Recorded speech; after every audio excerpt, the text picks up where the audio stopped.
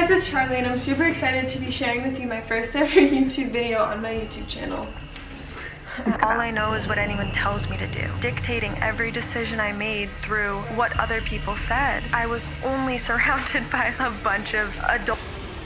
In a world that is as cruel as it is deceitful, tragedy is ignored in pursuit of a happy mind.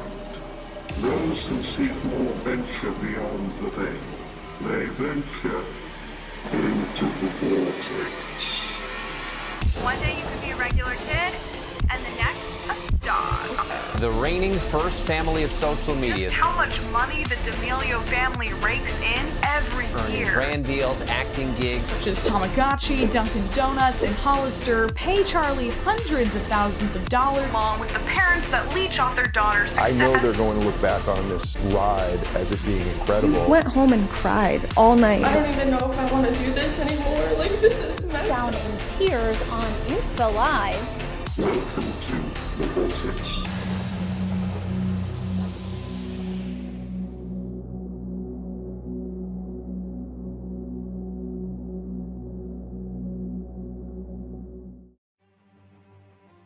over 150 million followers to business failure and a brand nightmare. How does an influencer brand collapse this catastrophically?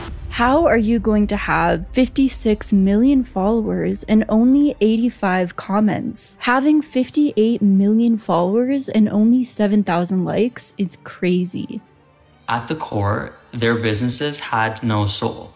They look like sellouts. Just because you have millions and millions of followers does not mean people are going to want to buy from you. With the rise of social media, the celebrity status has drastically changed. The D'Amelio Show. In just a few short years, our next guest went from social media stardom to building an empire as one of the most up. famous families in the world. Please welcome back the D'Amelio family, Mark, Heidi, Dixie, and Charli. Charli, good to see you guys. A curse I personally wouldn't wish on anyone. I have had a lot of issues with anxiety.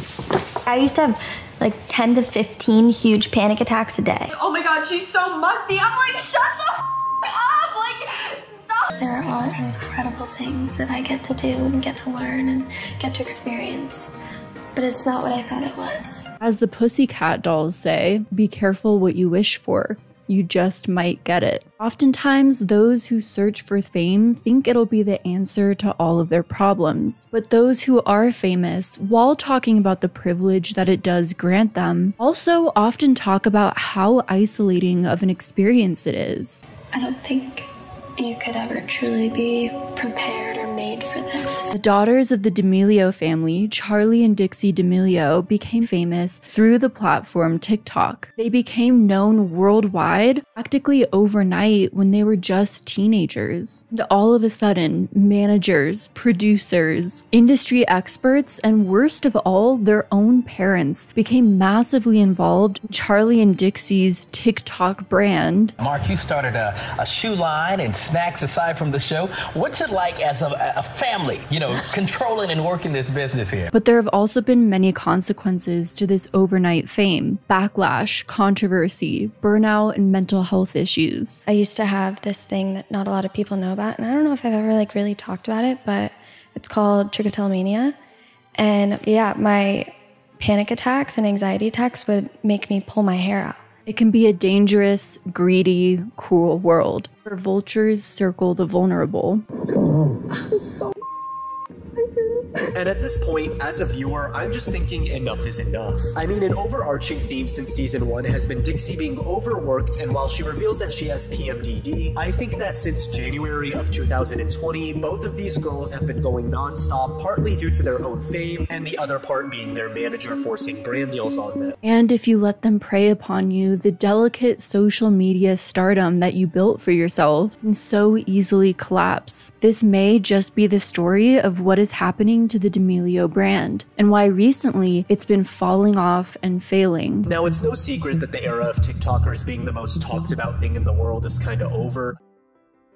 Hello, friends and internet acquaintances. Welcome or welcome back to another video on my channel covering controversial internet figures. If you like those sorts of topics, then don't forget to subscribe. And if you like this video, then don't forget to give it a like if you want to. Charli and Dixie D'Amelio had a very unconventional rise to fame. But before we cover the D'Amelios' rise into fame and how Charli and Dixie's parents got involved in their success and their brand, Let's talk about a sponsor for today's video. I almost signed up for the same streaming platform twice using a different email account because I forgot I already had an account with them. Luckily, I was signed up with Rocket Money and was able to notice it before spending weeks or months stupidly paying for the same subscription twice. The sponsor Rocket Money can help with problems like this.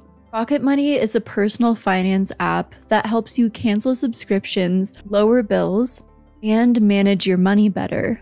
My partner and I have been using Rocket Money for almost a year at this point, and I've found it to be a really helpful tool when it comes to financial management and ensuring that I'm staying on track and not spending any money that isn't necessary or making any major financial mistakes. I love using Rocket Money to safely and securely identify reoccurring charges and cancel unwanted subscriptions can even cancel from within the app with just a couple of taps. No need to worry about annoying customer service calls. Rocket Money has helped save its customers up to $740 a year, with over $500 million in canceled subscriptions. See how you can save and try out a seamless way to cancel unwanted subscriptions. Utilizing Rocket Money's free trial when you sign up using my link. Save money and spend less. Join the over 5 million using Rocket Money today. Go to rocketmoney.com slash cruelworldhappymind or click the link in my description and get started for free.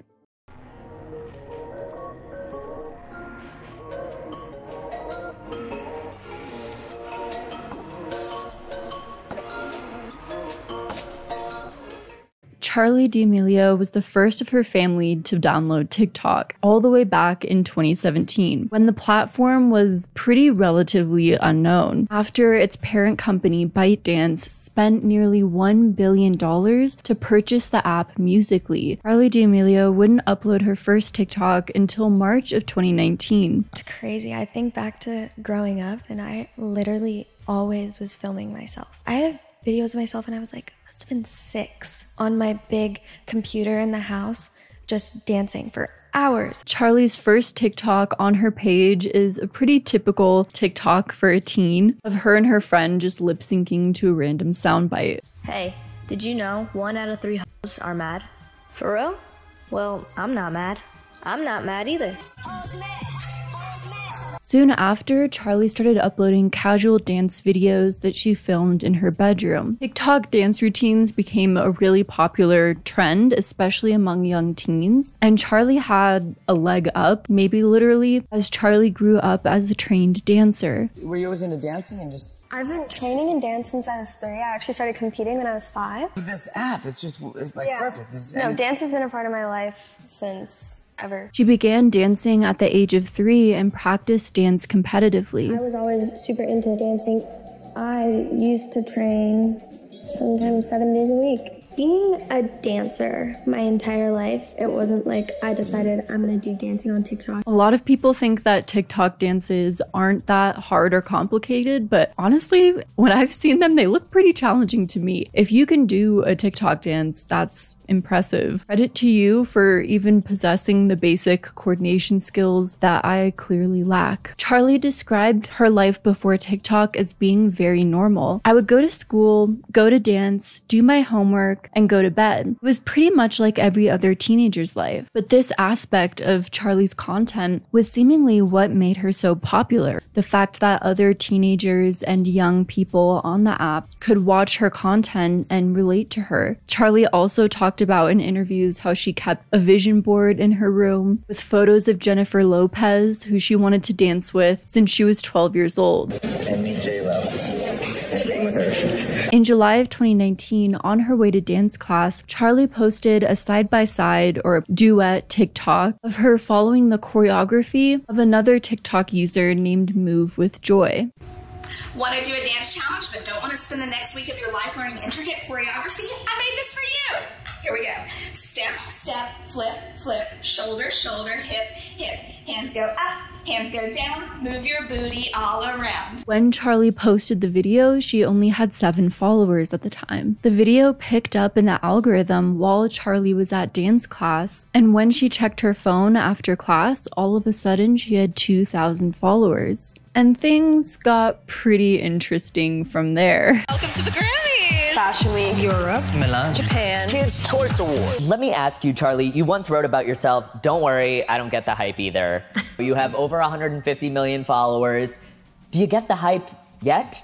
I mean, no. Hi, nice to meet you. You said you're a child? Hmm, Not anymore. Now you're a brand. Her mom, Heidi, remembers weeks of Charli waking up to hundreds of thousands of followers a day. So when, when you see this going on, and you can obviously recognize like there's some, some massive attention going, do you do you immediately say like, okay, like we got to start thinking about how this is going to affect her life, or do you st- or are you kind of like let's just see how this plays out?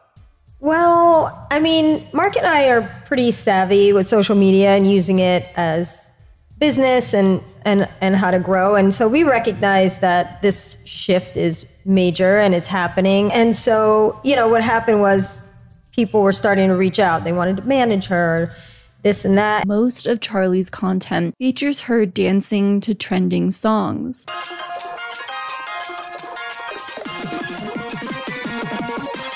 And as her dancing videos gained traction, she quickly amassed hundreds of thousands to millions of followers. This wasn't something that I was asking for or looking for. A lot of my journey was everyone telling me that I didn't deserve it. Why am I where I am? I don't do anything special. I'm not different than anyone. There's millions of people that would probably be better at my job than I am, but somehow it's me. The best explanation for Charli's virality could have possibly been her youth appeal and her relatability. TikTok classified more than a third of its user base in the United States as under 14 years old, meaning there's a massive amount of users on TikTok who are children. And who do children want to follow? Other children. Just like in the Disney era, children wanted to look up to Disney stars. You know, or I guess, what did you think it was about Charli's videos that, you know, was so appealing to people? Why do you think people started freaking out?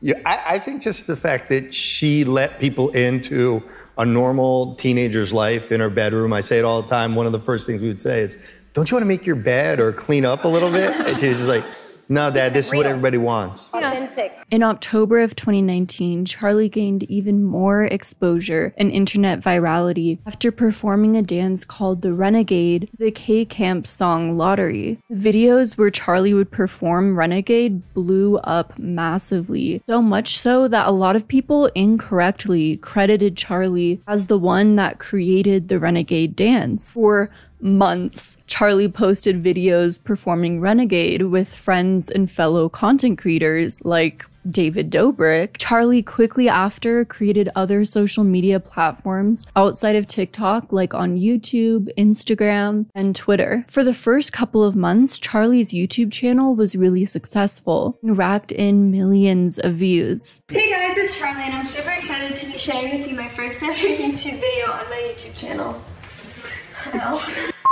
Just kidding. Hey guys, it's Charli and I'm super excited to be starting off my YouTube channel with my first ever YouTube video about my meet and greet tomorrow. The children were loving Charli D'Amelio. Around this time, Dixie D'Amelio, Charli's only and older sister, having witnessed her younger sister's internet stardom, joined TikTok and began posting regularly.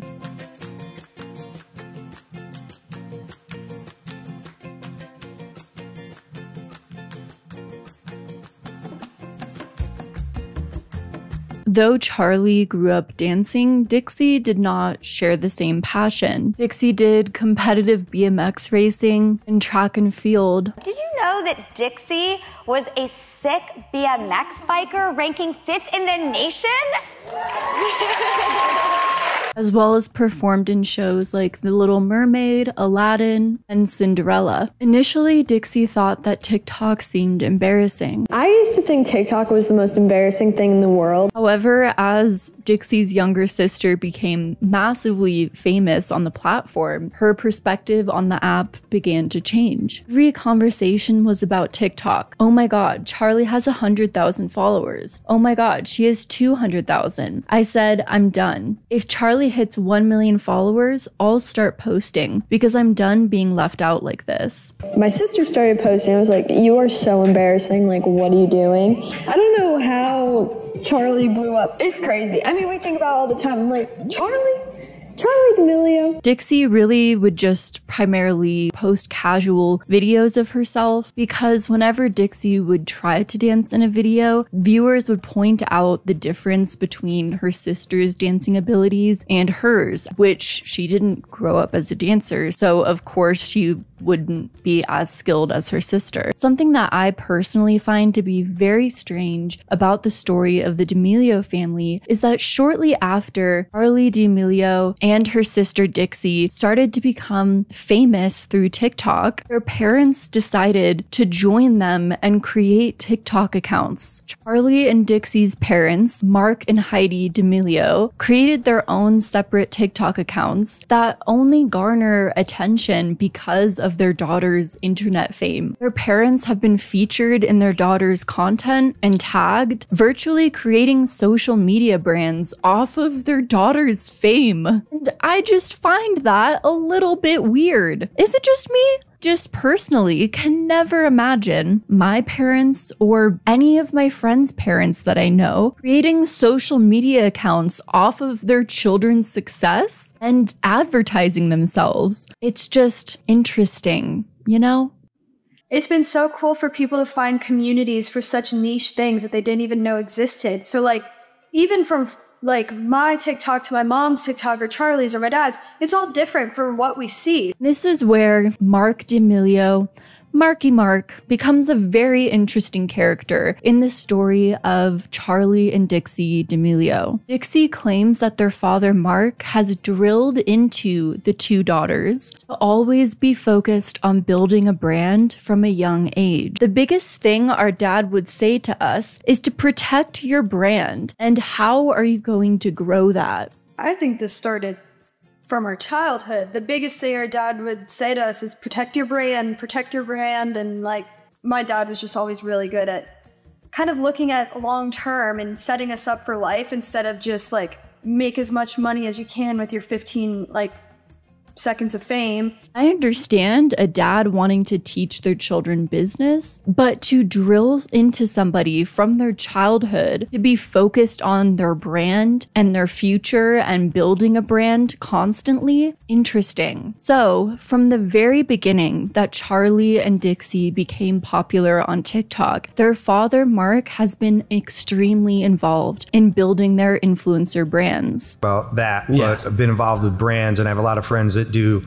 licensing. So I picked up the phone and called and said, Is this a business yet? Like, yeah. And early on, we had people, record companies and record executives getting in touch with Charli directly. And Heidi tells a story that Dick, Charlie came and said to Heidi, Hey, this guy wants to give me a $100 to do uh, a dance to his song on TikTok. And we're like, yeah. Heidi's like, that's not real. Let me, and, The 100 talked and it, and it happened. So it started off with just these small little deals and it has escalated into something massive. And the parents, Mark and Heidi, have been involved in building their own brands as well off of their daughter's success. You are the queen of TikTok. Like, y'all are the reigning first family, I feel like, of social media. Mark D'Amelio has over 10 million followers on TikTok. He posts a lot of random day to day moments online, as well as throwback content of Charli and Dixie when they were younger.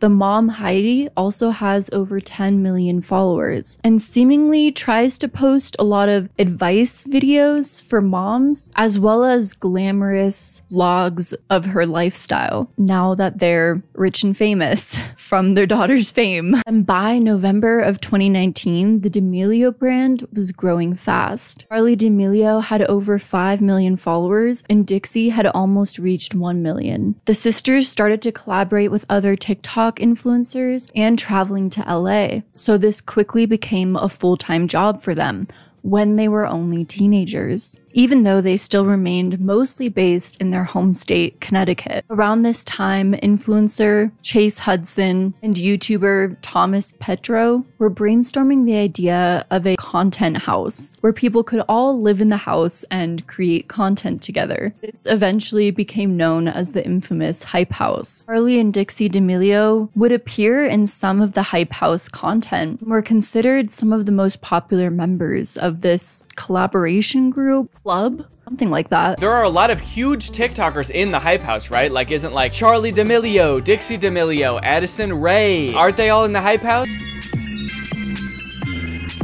While the Hype House was branded as just a bunch of popular friends making content together, in reality, it was a business. A bad business that failed, like most things that influencers seem to do, and that the D'Amelios ultimately decided that they were better off without, probably realizing that the Hype House needed them more than they needed it. I guess I haven't been keeping up with all of the latest news on the Hype House, but I didn't realize that like everybody who is really popular has already left the Hype House, which is to be kind of expected with content houses. I mean, that's kind of how it goes, right? They get really popular, everyone in it gets really popular, and then realizes, wait, I don't need to live in a house with like 16 other people, and so they get their own house. The Hype House started as a place for a new group of TikTok creators who became friends to create content together. A representative for Charli D'Amelio said when they ultimately decided to leave the house, stop being associated with it, Charli and Dixie were a part of the group and they created content with their friends at the house when they were visiting LA from Connecticut. When the Hype House started to become more of a business, they stepped away from that aspect, but haven't stepped away from being friends with the members in the house. Shortly after unhyping themselves, the sisters moved to their very own $5.5 million LA mansion. Also, this is only what, less than a year into Charli and Dixie's social media fame and they're buying a $5 million mansion? Don't do that. Don't don't do that. If you happen to find yourself becoming famous online overnight, please save your money. Do not be buying mansions right away. At the very end of 2019, Charli signed with the management company Outshine Talent before the D'Amelio family collectively signed with United Talent Agency. United Talent Agency is one of the biggest talent agencies. They work with social media stars like Alix Earle and Emma Chamberlain and have also signed a ton of high profile movie stars. At the time, by the end of 2019, Charli D'Amelio's TikTok had grown to nearly 18 million followers, and she was gaining around 200,000 followers a day. Dixie had over 6 million followers, Mark had 1.5 million, and Heidi had 600,000. So the entire family signed with the talent agency, not just the daughters who were the ones that were really blowing up or receiving most of the social media attention. Nope, everyone signed with the talent agency. That's awesome. When you signed with UTA, you did like the whole family package. Like we're you're taking out one of us, you're taking all of us. Imagine you get social media famous completely unexpectedly and you get an offer to sign with a famous agency. Your parents are like, "What about us?" So what are some of like the components that went into deciding UTAs for us? So I think, first of all, Charli was 15. So there was no way we were going to let her come to LA by herself. So we were coming as a, as a family. And what was interesting about UTA is they started to dive into my wife's numbers and my numbers and, and Dixie's numbers. They're the ones that said, hey, we think your family has something. Hmm. Heidi's growth, although Charli is exploding, Heidi's growth on Instagram is incredible. Dixie is someone that we think could, could be big and started to ask about what our interests were. Talent agencies can also, at times, provide input on how to handle different public relations crises celebrities if they have experience in navigating controversy and negative publicity, which Charli needed just weeks after the management deal was signed. When the New York Times published an article revealing the actual creator of the Renegade, the article suggested that Charli and other TikTok creators emulated the dance without crediting the source. The Renegade was created by 14 year old choreographer Jalaiah Harmon, who designed the dance in September of 2019, a month before Charli recreated it on TikTok. I posted on Instagram and it got about 13,000 views, and people started doing it over and over again, Jalaiah said. By October of 2019, the dance had spread to TikTok and was going viral. The only problem was no one was crediting Jalaiah as the one who created the dance. Jalaiah tried contacting the creators who were performing her dance and gaining millions and millions of views from it, asking them to credit her. She was ridiculed or ignored for the most part. I was happy when I saw my dance all over, but I wanted credit for it. Jalaiah is also a young black girl, only 14 years old, creating this dance that became so popular, which is really impressive. And yet the dance was stolen from her and recreated by a ton of white teenage girls on TikTok with millions of followers already. They were able to take that choreography and profit immensely from the dance. Charli, through a publicist, said that she was so glad to know who created the dance. I know it's associated with me, but I'm so happy to give Jalaiah credit. And shortly after the New York Times article was published, Charli posted a video performing the Renegade alongside Jalaiah and Addison Rae, with Jalaiah at the forefront, seemingly putting the controversy behind them. Even if this was just to save face, it was still great that the original choreographer was credited. And soon after, Charli's first big controversy was overshadowed by a global pandemic, which very quickly shifted people's attention. Before we continue in the D'Amelio story, with the family catapulting into mainstream at the start of 2020, here's a brief intermission with the last sponsorship in this video.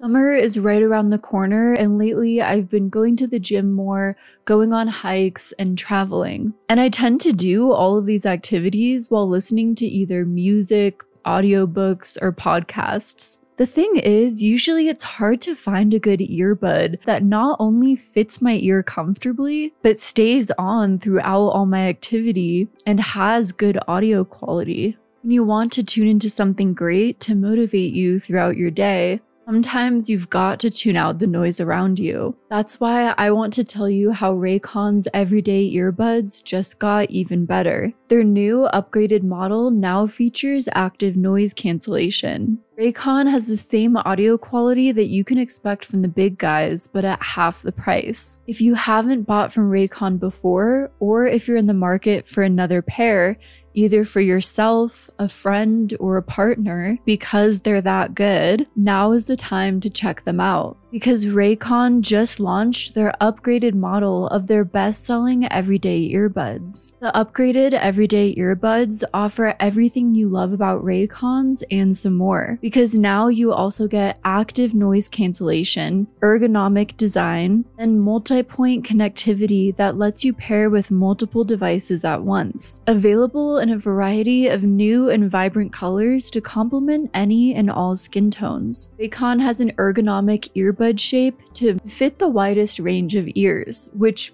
I love because apparently I have the weirdest shaped ears, and usually earbuds do not fit me well and constantly fall out. I find the Raycon earbuds to be very comfortable and stay in no matter what hike or workout I'm doing. Raycon earbuds also have three customizable sound styles, which I think is amazing for those who have sound preferences or sensitive ears. The earbuds are also weatherproof and sweat resistant, which I really appreciate as someone who lives in a state where the weather is constantly changing. If you've been waiting to check out Raycon, with the new model and the upcoming summer season, now's the perfect time. Their upgraded model will blow you away. Click the link in the description or go to buyraycon.com slash CWHM to get 15% off your purchase plus free shipping. Thank you so much to Raycon for sponsoring this video, and I hope everyone who checks them out enjoys Raycon earbuds as much as I have been. Sponsorships allow the channel to put in the time and effort to continue growing our craft and creating as quality content as possible. Now let's get back to discussing the D'Amelio family at the start of 2020 when the pandemic began and the entire family was newly experiencing fame.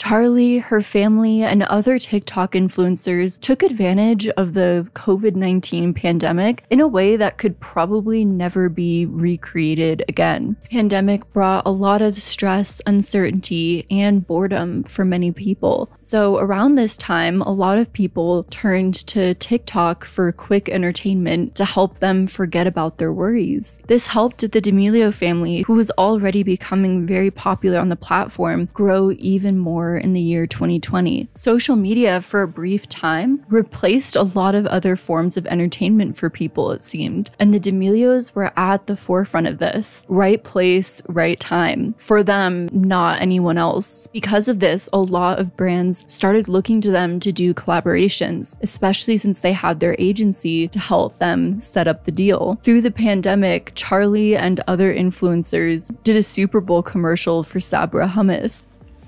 Mm. Mm. Okay, Boomer. And in that same month, the D'Amelio sisters and Addison Rae were invited to the 2020 NBA All Star Weekend in Chicago. So, what's it like for you here in Chicago so far? Well, it's really different this time around. A lot closer to the core. So in 2020, the shift began to happen where multi billion dollar companies like the NFL and the NBA were starting to use TikTokers to promote their brand. And these TikTok influencers spent the All Star weekend doing viral TikTok dances with NBA players and posting it on their pages.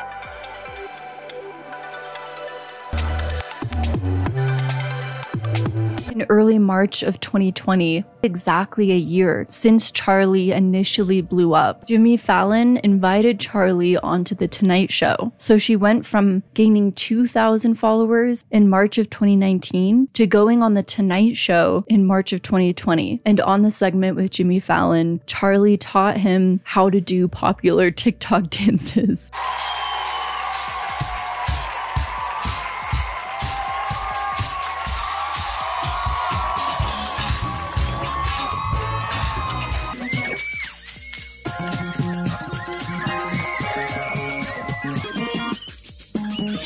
This segment has since garnered over 23 million views on YouTube and sits among The Tonight Show's most popular videos. Jimmy Fallon has featured people and interviewed people who've been in their industry for 15 years, 20 years, have so much wisdom and knowledge to share. And yet there's this teenager who's been doing TikTok dances online for a year. That becomes one of the most viewed clips from his show because Charli had the ability to produce those kinds of views and numbers and popularity. She was being approached by multi billion dollar corporations to be the face of their products. And she should have still been in high school. In April of 2020, the D'Amelio family appeared on a Nickelodeon special called Kids Together, the Nickelodeon Town Hall, which was hosted by Kristen Bell. Charli, everyone is going crazy over this distance dance that you created.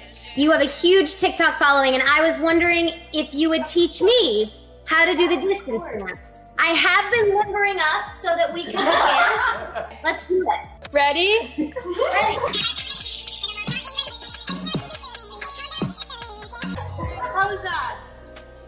I think I nailed it. The D'Amelio family, all together, again, also appeared on an ABC television special, The Disney Family Sing Along. Charli continued to collaborate with a ton of different brands. She even appeared in her idol Jennifer Lopez's music video.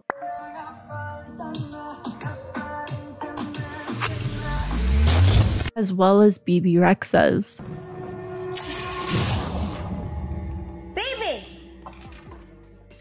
Charli capped off 2020 with an award for Breakout Creator at the 10th Streamy Awards. This year's Breakout Creator of the Year is. Uh... Are you serious? Oh my goodness. Thankful for my parents for letting me do this, letting me move to LA, being there for me every step of the way. I'm extremely thankful for all of them, my team. To everyone. Really, this is insane. and published a book. The amount of things that this teenager did in the year 2020, a pandemic when most of us did nothing, let's be real. She also published a book titled Essentially Charli The Ultimate Guide to Keeping It Real, which talked about identity, cyberbullying, social media, and body image, as well as Charli's childhood and family life. And Essentially Charli went on to become a New York Times bestseller. What a what a year for you. Um, and now to be a published author, I feel like um, you have had so many irons in the fire. Are you exhausted? It's obviously a lot with everything that I'm working on. which is something a lot of authors work really hard to do. But looking back in hindsight, amount of appearances, talk shows, brand deals, marketing efforts that Charli did in the year 2020, her first full year of being TikTok mega famous, it's a little concerning how much was crammed in there. It makes me wonder how much her parents were really looking out for her versus how much they were pushing her to do all of this, especially considering they involved themselves in Charli's social media brand from the very beginning and signed with a talent agency alongside with her and did appearances on Nickelodeon and Disney with their daughters. I spent like 15, 16, 17, 18, those very important years where you make the friends and you're going to college and you're in high school, all that stuff, surrounded by a bunch of adults. Yeah. Or, especially in the beginning, people who wanted to make videos together, but then I was never invited to actually hang out. So, with all that being said, it makes me wonder what is the background of the D'Amelio family? Where did they come from, especially Mark and Heidi?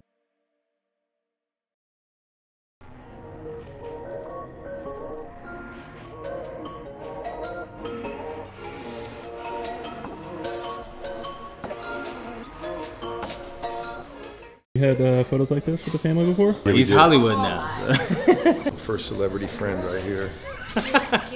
Mark and Heidi D'Amelio crossed paths at a New York City gym in 1997. At the time, Mark was a salesman for a sportswear company, and Heidi was a personal trainer and model. Mark D'Amelio also has a bachelor's in political science and government from the University of Connecticut, and according to Mark's LinkedIn, he spent most of his career in the apparel industry. Been in the clothing business my entire career. Have my own clothing brand and working, uh, bringing other clothing brands to retail. Mark founded Mad Soul Clothing Company in the year 2000 and left the company in the year 2007 to start Level 4 Collective Showroom, where he continues to be a part of the leadership team. The website for Level 4 Collective reads Level 4 Collective bridges the gap between brands and buyers. Mark loves tech and Okay. like social media and how to. He's in sales and he always has been, and he's always worked for himself. He's an entrepreneur, and so he always used that. So he just saw the value in social media. On the other hand, in the 90s, Heidi left her home in Louisiana to pursue modeling in New York City. I just um, I moved on my birthday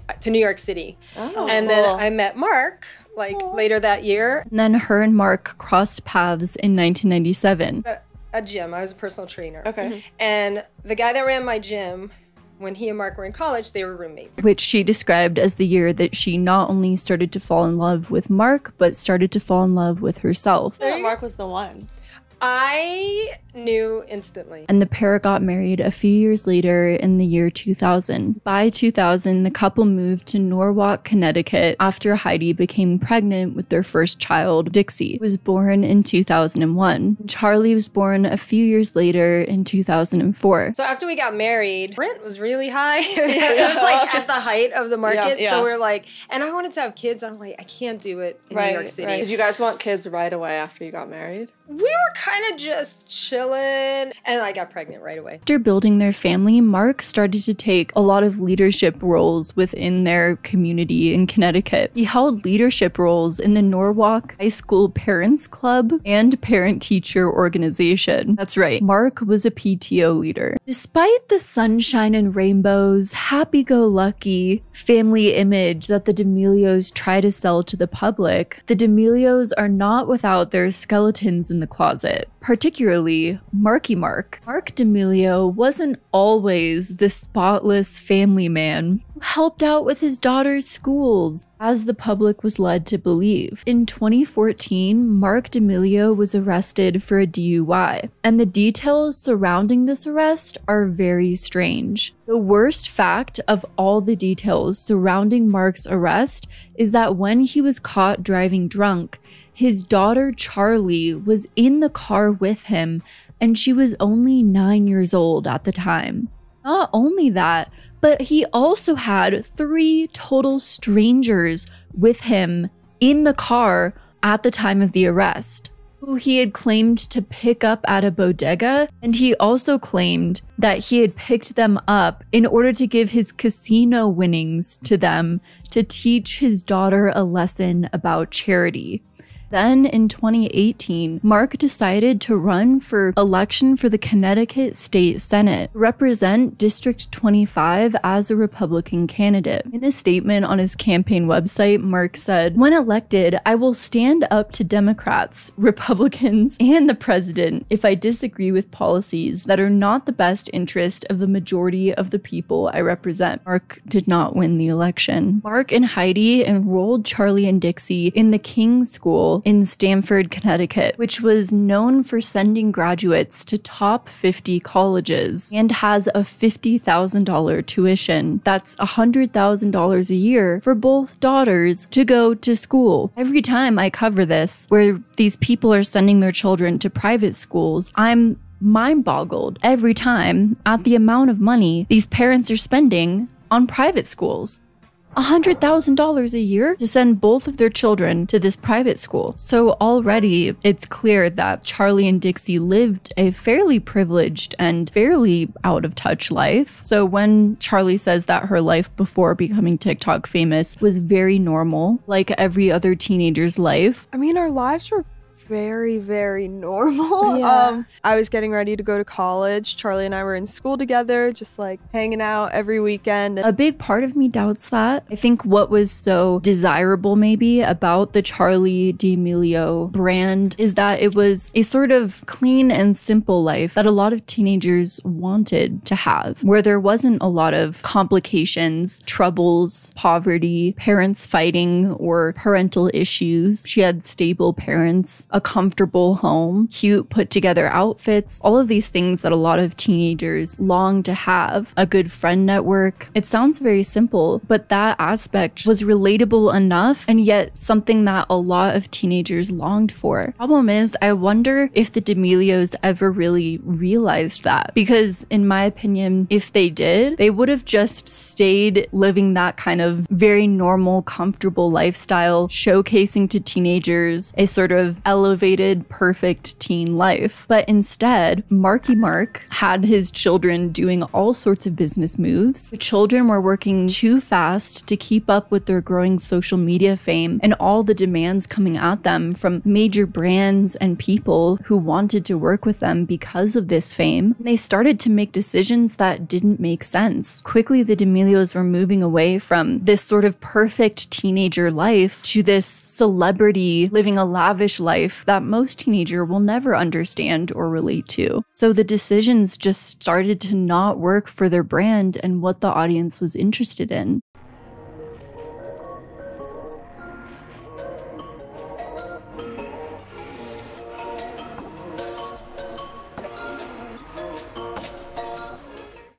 In May of 2020, the D'Amelio sisters created a podcast called Two Chicks. I actually was invited. No, you were. No, I wasn't. No, you were. No, I was not. I had something that day. No, you didn't. Yes, I did. No, you didn't. What? You had nothing. I was like really, really busy. Mm-hmm. With what? Um, I had lots of stuff to do. Mm. It's confidential. Weird. First off, podcasts is one of the hardest genres to make interesting and make work. You have to be one of the most interesting people in the world to make a successful podcast because it's just you talking into a mic for hours and hours. And who wants to listen to multiple hours of someone talking into a mic? He said, "Yeah, we know." I, you, how you know? Because you talked about it for the past 20 minutes. Anyways, podcasts are one of the most challenging forms of media to make work. It can only work if you're super interesting and engaging as a person and have a lot of things to say. If you're a certified yapper, if you can yap about anything and everything, yap off the bat, yap on the riff, and are Charli and Dixie, those people, I'm just gonna come out and say it. No, they're not. But that's okay. It's okay to not have a lot to say to where you can fill up hours and hours. Oh my gosh, get down from there! Absolute deviant. Even more horrifyingly, Mark and Heidi D'Amelio also started their own podcast. You and Heidi got a podcast, the other D'Amelios. What was the, the basis of you guys beginning that podcast, and what's been the feedback uh, from the fans and, and from your girls? So I, I, I think for let's start with the girls. I don't know that they've heard an episode. Other thing Heidi and I did just to give the people out there that may care our perspective on kind of behind the scenes of what happens to Dixie and Charli. Because if you finish listening to all the hours and hours of Charli and Dixie podcast content, then just you can hop on over and listen to their parents talk for hours and hours. I would be nicer to their parents if they built their own legitimate brand off of their own things that they were doing, but you were literally building a brand off of your daughters. People give a lot of famous TikTokers, who are for the most part children and teenagers, a hard time for becoming famous for doing nothing, having no talent. But what I would say is the definition of becoming famous for having no talent is Mark and Heidi D'Amelio. Sorry, get your own thing. Instead of mom or dad, get out of my room. It's literally, mom, dad, get out of my career. Mom, dad, get out of my brand. It's strange being popular because of your kids to bring up kids that have become so successful that they now have shed light on you. I don't know if this is a revolutionary idea, but not every famous influencer needs a podcast. You know, there's that saying if you don't have anything nice to say, don't say anything at all. If you don't have anything to say, don't make a podcast. Somehow, that lesson has been lost on a lot of people. Talk about how much money you spent on Legos. That's none of your beeswax. What was your most expensive Lego set? It was like two hundred twenty dollars. Ultimately, it seems like social media advice is similar to a lot of dating advice out there. You have to maintain a level of mystery. If you're too available, too accessible, and, well, shoving things in people's faces a lot, no one is going to like you. Content creators on all platforms, no matter what content you post, push to produce as much content as possible. The social media platforms themselves reward more consistent posting, and the audience is usually more happy to see their favorite creators posting more content. But if you're posting just to keep your numbers up, eventually the quality of what you're creating is going to go down. I guess it's what people call being a sellout. And this is something that started to happen with the D'Amelios. There was just too much content happening. Their audience was being bombarded with information, new appearances, new collaborations, sponsorships, platforms, creations of theirs. It was a lot to keep up with. The podcast is just one example of this. So many hours of content now available featuring Charli and Dixie. And was any of it quality? It's up for you to decide. So, unfortunately, as time went on, the D'Amelios' views, engagement, and interactions started to decline, despite Charli and Dixie being more active than ever. In 2020, Dixie also tried her own thing at things. Um, she tried to branch off of TikTok. Her sister had dancing and she hadn't quite found her space yet. And I think she wanted to differentiate herself from her sister. So she tried her hand at acting, made her acting debut in the TV series Attaway General. Some of you may recognize the actress who plays the main character as being that one girl from TikTok, or some of you may know her as being the sister of that one girl from TikTok, and I love her character. There's so much uh, variety in the way she rolls her eyes. Sometimes she does it while she's talking, sometimes she does it while someone else is talking. First season of Attaway General is about a hospital's prestigious volunteer program where teenagers get to work on patients in this volunteer program at the hospital. Oh, jeez. as well as, I guess, other things that teenagers supposedly do while working in a hospital, which teenagers also totally do.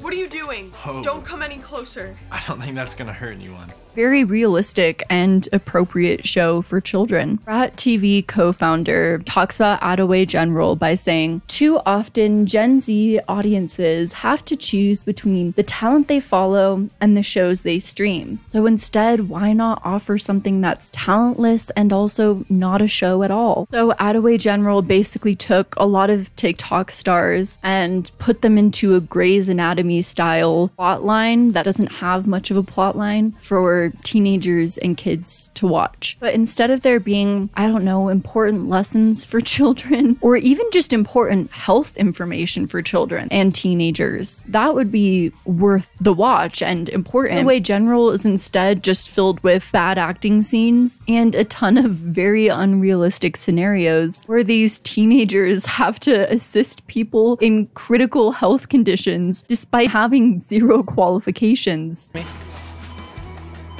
hello? Hey, excuse me? Uh, hello? Hey, Sorry, but it's really busy right now. There's been a huge accident. I know, I was in it. They're also just working around the hospital, in and out of patient rooms, and then breaking into TikTok dances in the hallway. Moving too fast. Why is it? No, ooh, more energy. Volunteers, attention. The show received terrible reviews, sitting at a 1 out of 10 on IMDb. And Dixie D'Amelio left the show after one season to focus on her music career. Dixie, in particular, got a lot of heat on the show for being one of the weaker actors, despite her speaking often about having a background in theater. After noticing how difficult live action acting was for her older sister, Charli ended up doing a voice acting role instead in the children's animated film Stardog and Turbo Cat in June of 2020. In July of 2020, 2020 is still going on. They're still doing things in 2020. This is exhausting me thinking about how many things they did. But in July of 2020, the D'Amelio sisters partnered with Morphe Cosmetics to launch a makeup collaboration.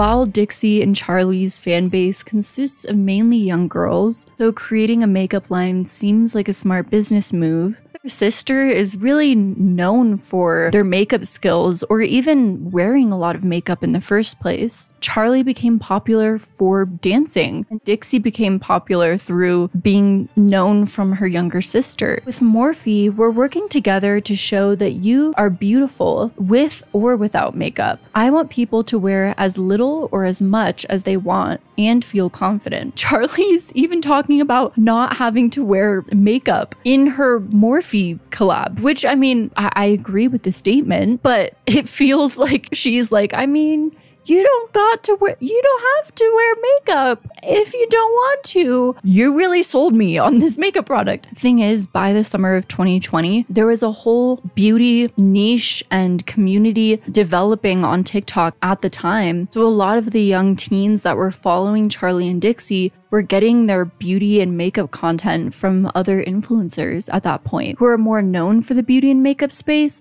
but also more importantly, more passionate about it. It was just kind of clear from the way that Charli and Dixie marketed their Morphe collab that there was really no passion behind it whatsoever. It's unclear how successful the D'Amelios collaboration with Morphe Cosmetics was, but considering that Morphe never worked with the D'Amelios again, presumably it wasn't that successful. In June of 2020, Dixie was also turning her passion for singing into another career avenue and released her first debut single titled Be Happy, which was supposed to focus on themes like mental illness and depression. Be Happy was followed by a music video that's garnered over 100 million views since its initial upload. While I do not want to discredit Dixie's struggles with her mental health, I do want to point out that there is a strange dichotomy of the music video itself for Be Happy, as Dixie's literally sitting in this $5.5 million mansion in the music video that they just got off of their social media success and fame and complaining about how she's not happy. Of course, there's that lesson of money can't buy happiness, but it does buy comfort and it buys a lot of privileges that people that don't have money can't afford, like healthcare, like a roof over their head, like a $5 million mansion that could pay for so many people's entire existence. And so it, it just feels very tone deaf to be filming this music video talking about how unhappy she is in a $5 million mansion. It's just the tone deafness of the music video that's fascinating. This is sort of where you can start to see the beginning of this pattern that the D'Amelios would do, where they would complain a lot very publicly when they were afforded so much by their overnight success. And of course, they were doing so much so quickly, moving very fast, had a lot of pressure. But from an audience's perspective,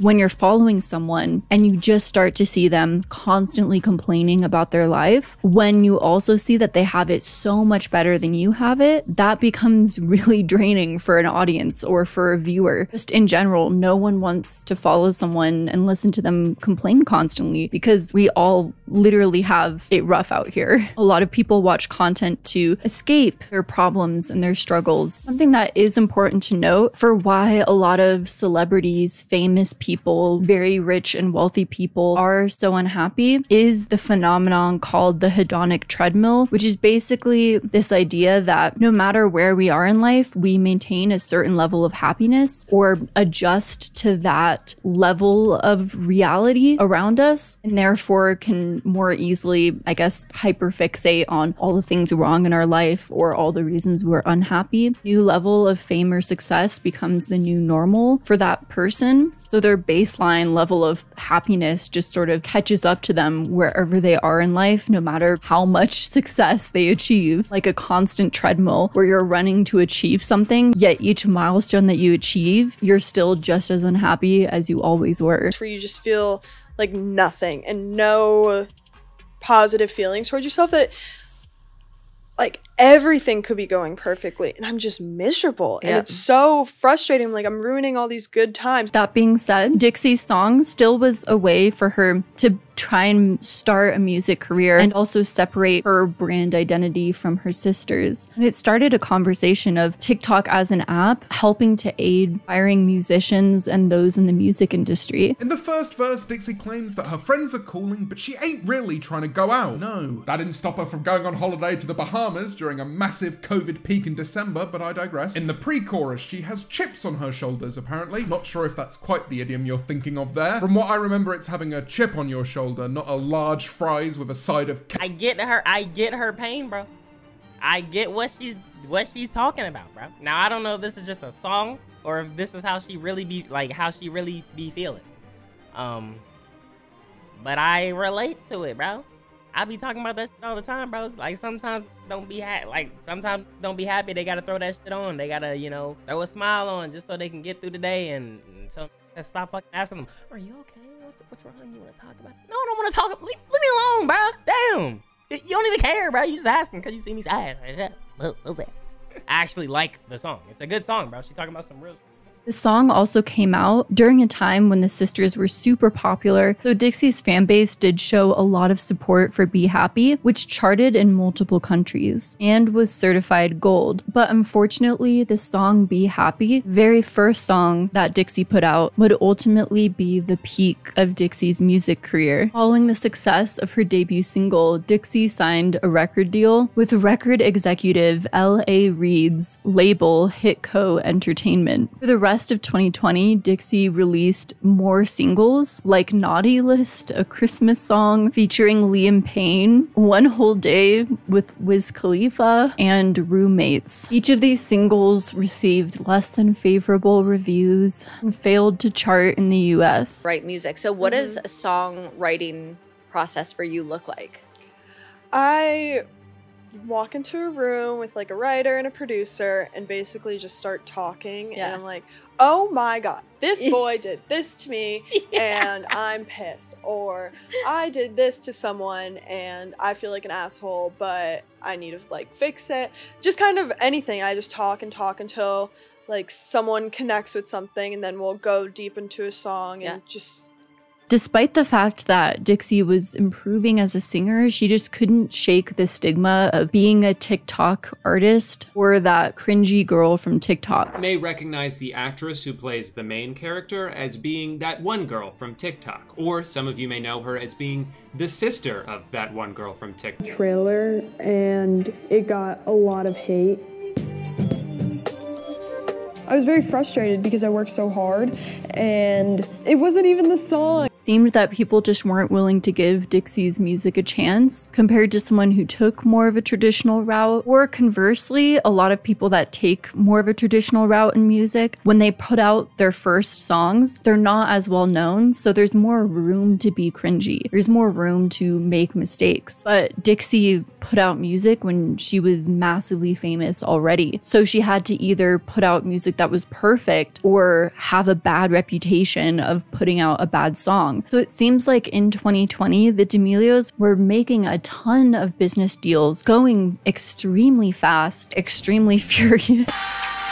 Yet a lot of the decisions that they were making in business, in their brand, in their career, which was kind of thrust onto them as teenagers, which I don't think anyone can be prepared for, really good decisions and didn't really pan out. In a way, they were sort of destroying the brand that their audience liked them so much for in the first place. But things would get even worse as from late 2020 and onward, the D'Amelios found themselves in worse and worse controversy.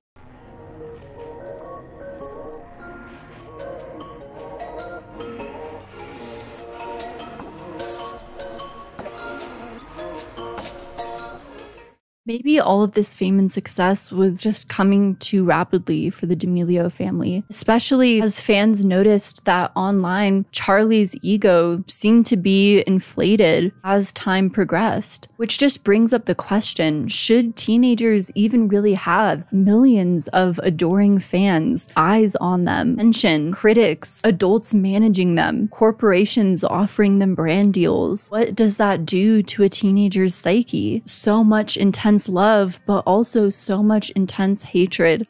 All being sent to one person. It's a lot to take in and comprehend, and to not let it get to you in some way. In November of 2020, Charli D'Amelio lost nearly 1 million followers after posting the first episode in a new series called Dinner with the D'Amelios in their joint family YouTube channel.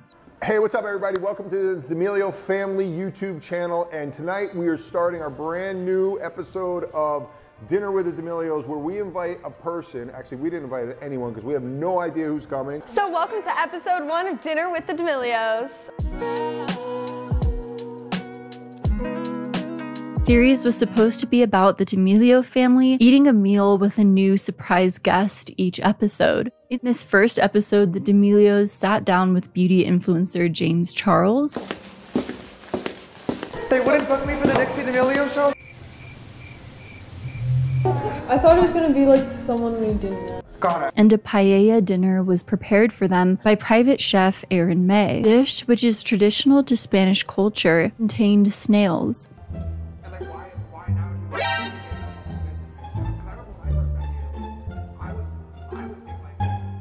No, no, no, get it together. You need to be paying attention. Like, you need to be looking at this, you need to be understanding deal terms. Because a lot of people don't, but unfortunately, that's what a lot of influencers.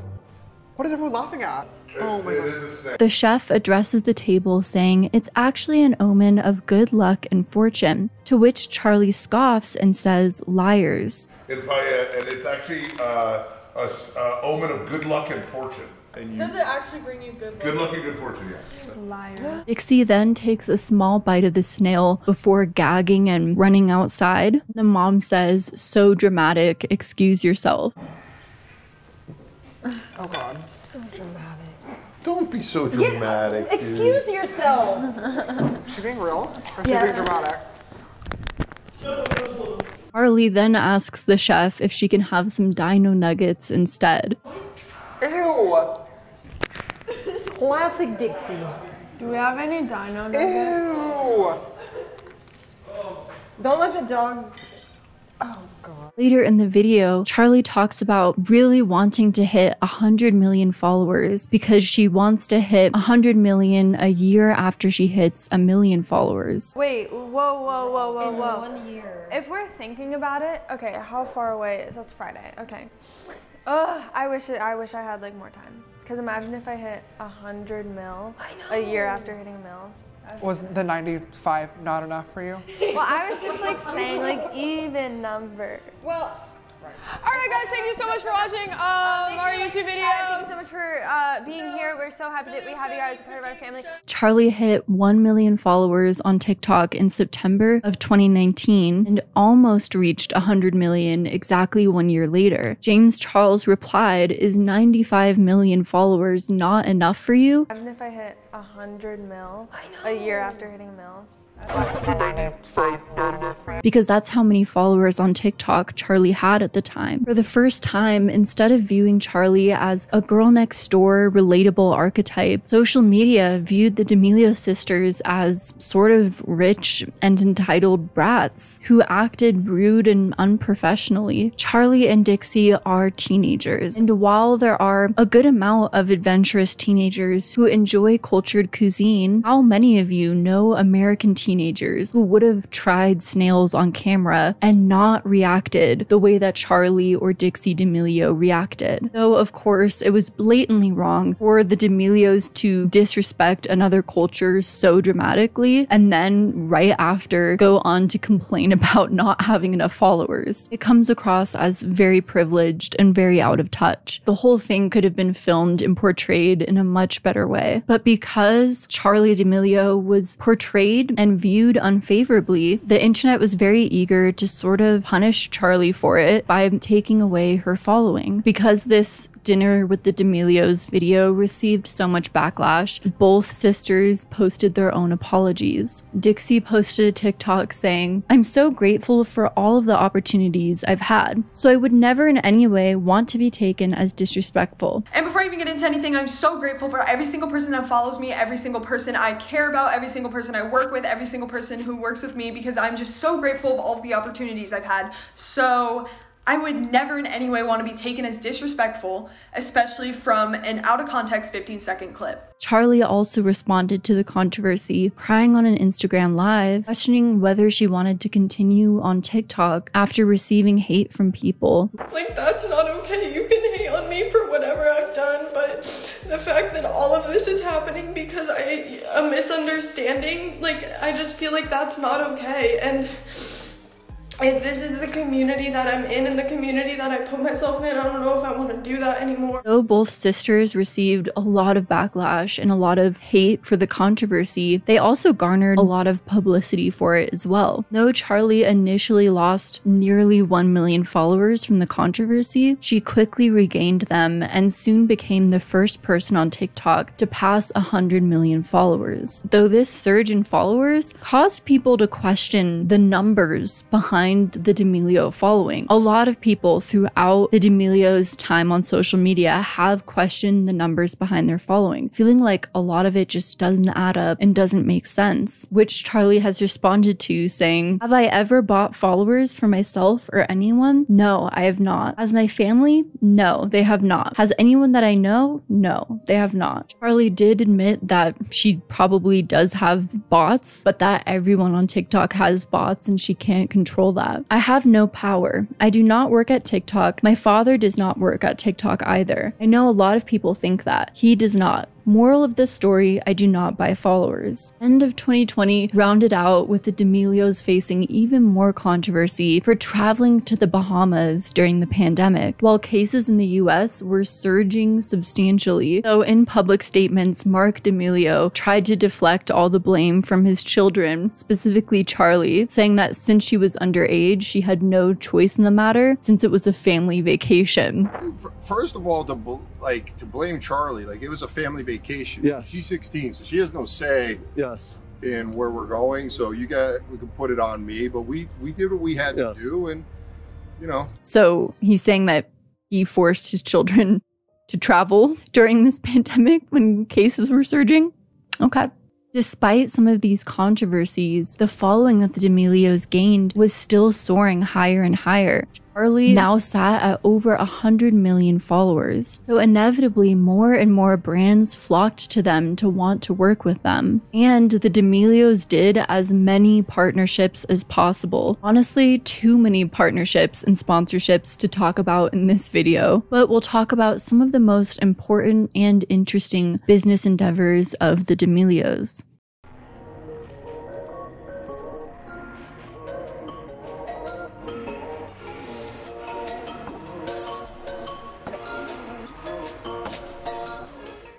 In 2020, Charli made one of the most authentic and, in my opinion, the most successful D'Amelio brand partnership to date. Charli was known early on in her days of creating TikToks for enjoying Dunkin' Donuts. So in 2020, after Charli had given Dunkin' Donuts tons of free promotion in her TikTok videos, the brand decided to hire her as an official brand ambassador. The Dunkin' Donuts collaboration came about after a lot of free promotion. Um, for a while, everyone thought I was getting paid, and I was not. And I just shamelessly promoted and promoted and promoted because I really wanted to work with them until they gave me the opportunity finally, and I immediately took it. Over the course of the partnership, Dunkin' Donuts released two drinks in collaboration with Charli, including a limited time drink on their menu called the Charli. I just picked up my Charli drink. How crazy that this is a real thing. I'm so excited to try it. Look at that. One medium Charli cold brew. That's my name on the receipt. What? Look at that. They even released Dunkin' Donuts and Charli collab merch. Since then, we've come out with two of my own drinks on the menu and sold out cold brew nationwide. And it was a really big hit for me. And that was a very nice feeling to see that all come together. But that was definitely a lot of my determination to work with Dunkin' Donuts for a very long time. Drinks were popular menu items in Dunkin' Donuts. I think that the partnership worked so well because the audience felt a certain level of authenticity there. Charli seemed really passionate about the product, promoted it, and wanted to work with the brand and introduce the brand to her audience. She had a genuine interest, and Dunkin' Donuts was using that interest that was already there instead of trying to manufacture an interest that didn't exist. Hey, it's Charli, and I'm here at Dunkin' showing you my go-to drink, which is a cold with three pumps of caramel and whole milk, which you can order as the Charli in store or on the app.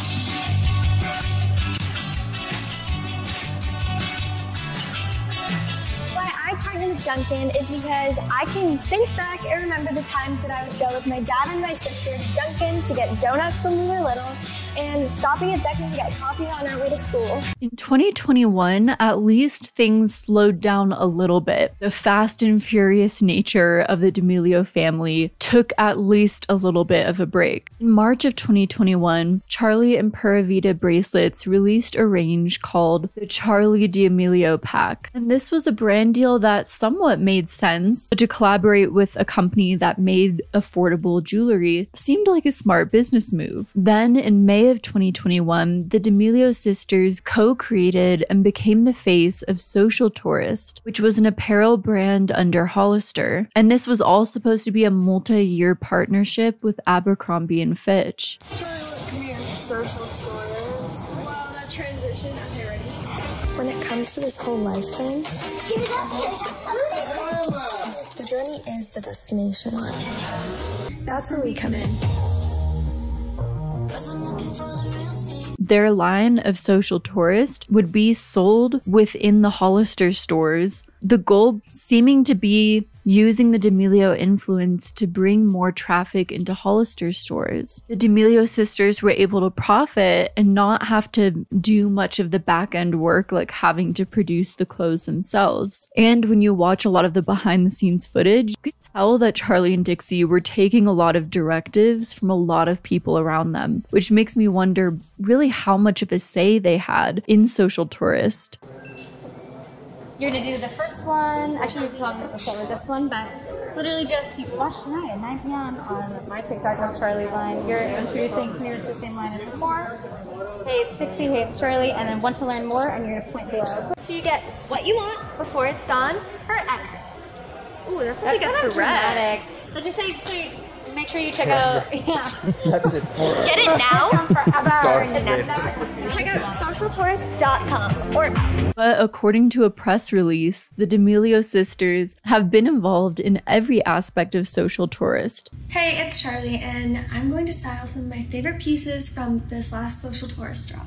But this is all from the new Social Tourist collection. Make sure that you guys go check it out. On top of that, their dad was also involved in Social Tourist, acting as a consultant since he had a background in the apparel industry. Oh, yeah, surprise, surprise. Mark D'Amelio was also heavily involved in the Social Tourist partnership. It seemed initially like Social Tourist was a concept that could work really well with the D'Amelios. Their brand was all about being relatable and family friendly, and Hollister was known to be a family friendly brand as well. Besides the fact that at the time Abercrombie and Fitch was fairly low in its ethics rating in manufacturing. But a year or two into the creation of Social Tourist, the engagement in the brand dropped drastically. Then this year, Social Tourist came to an end. A post on Social Tourist that was allegedly written by Dixie and Charli read Our partnership with Social Tourist and Hollister is coming to an end. We set out to create connection, take risks, and tell our story through an innovative, social first fashion lens. Your love and support allowed our vision to come to life. We can't thank you enough. While the reason for the end of the partnership wasn't reported, most have assumed it's because the line was failing to sell well. and I'm assuming that Social Tourist was not selling well. So ultimately, it's smart for everyone involved to shut this down. This does not align with Charli or Dixie anymore, and I bet Hollister was losing money on these collaborations. So I think it's smart for everyone. And in the comments on social media, there are many people who are claiming to have worked at Hollister that also say that everyone hated the social tourist line. One of the weirdest partnerships that the D'Amelios did was partnering to release their own mattress, a mattress drop. You can't sleep on this next D'Amelio endeavor. They partnered with Simmons Bedding Company to release the Charli and Dixie X Simmons mattress.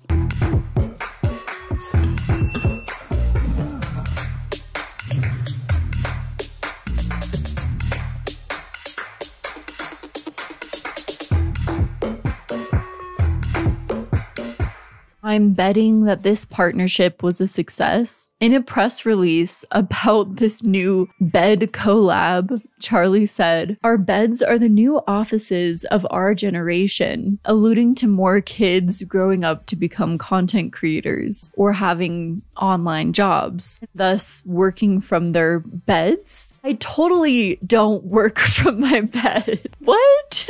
I definitely do not script and plan out the videos from my bed. Beds? Who works from beds? P- preposterous. The Charli X Simmons memory foam mattress started at $499 for a twin mattress and went up to almost $700 for a king mattress. In June of 2021, Charli worked with Invisalign to release a limited edition Invisalign case for the company's dental aligners. Another collaboration that made sense with Charlie when you look at the ages of those that follow her, most of whom are probably teenagers looking to get braces or align their teeth in some way. Then in July, she starred in a digital campaign for the snack brand Takis. In the year 2021, it seemed like most of the business collaborations that the D'Amelios were making seemed in alignment with their brand and audience. A big challenge for the D'Amelios was figuring out how to take their newfound fame on the internet and transition it into the mainstream especially since it seemed like the D'Amelios were determined to become successful as an entire family. Because of that, the D'Amelios have been compared to the Kardashians, as the Kardashians became famous as an entire family and then went on to start all of these individual brands, which they gained more wealth and success from. So it seems that the D'Amelios tried to follow the Kardashian playbook after gaining success from one of the members of their family. They all kind of gained fame off of that one sister and then they went on to start their own reality show probably with the goal of boosting their fame even further and giving those that followed them a sneak peek into their daily lives. The only question is with fans already following them on social media and seeing them on a daily basis, would something like a reality show have the same effect on a famous family as it once did before the rise of social media? Also, was the D'Amelio family interesting, dramatic, and likable enough to have an entire reality show based off of their daily lives.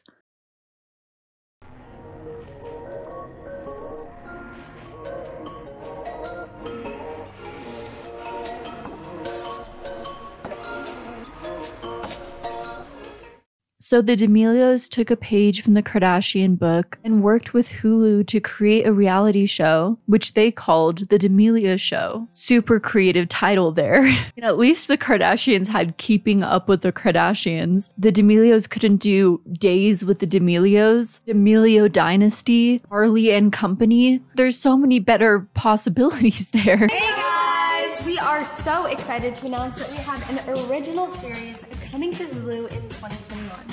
We can't wait to share our lives with you all and show you our day to day in LA. And we can't wait for you to get to know us all better. All right, so what do you think is going to happen in this on this show? Are you like flipping tables? The show is supposed to give an inside look on the family life of the D'Amelios, as well as explore how they're dealing with their newfound fame. This is the discovery process. We're figuring out what you're good at. I just feel held to a very high standard. Millions of people watching your every move. That's like constant share. The show talked about the D'Amelios' early rise on TikTok and Charli being concerned about whether or not social media was a long term career. Yeah. struggle. I have no idea how this is going to work out in the long run. Honestly, we could move back to Connecticut and social media could like go podcast, fitting for my shoot the next day. I still have to do school. This a year and a half ago in Connecticut that you'd have a clothing company?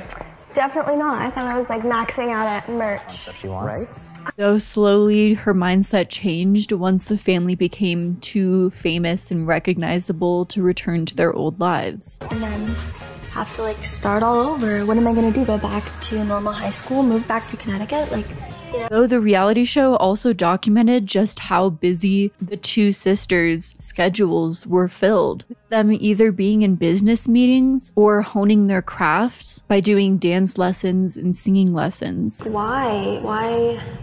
Why do I continue to do this? Where did you go?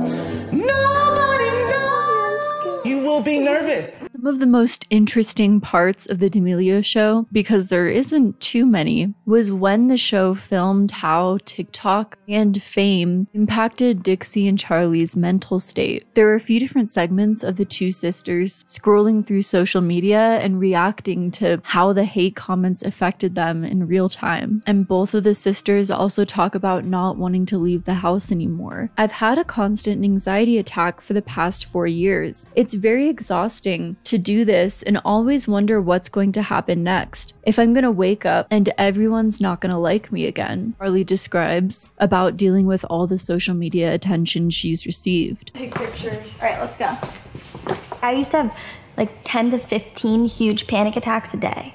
Like that's how bad it was. It's obviously still there. I obviously still struggle with it. There's no way to just like poof, anxiety's gone. It's very difficult to talk yourself out of anxiety. And Dixie talks about suffering from a lot of physical and mental problems due to the stress of internet attention and backlash, anywhere from back pain, migraines, all due to anxiety. Now, I think my anxiety comes out in different ways, like physical pain. Yeah. And so I think that's what has been the hardest, especially getting like diagnosed with anxiety, because I'm like, mm-hmm. I'm having awful back pain, or I literally feel like I tore my ACL and like can't walk. My knee hurts so bad. I'm getting x rays, no idea what's wrong. And then finally discovering like that's anxiety. I think that's always been there with, and then it would come out in migraines or stomach migraines or any kind of pain. In one of the most intense moments on the reality show, she collapses in tears after reading comments posted on a vlog that she shot for Vogue. The whole internet jokes about how I have no style. I have style. I posted a video of just that 15 second clip and they're like, oh my god, she's so musty. I'm like, shut the f- up! Like, stop! This it's like everyone else can like show emotions or like talk about things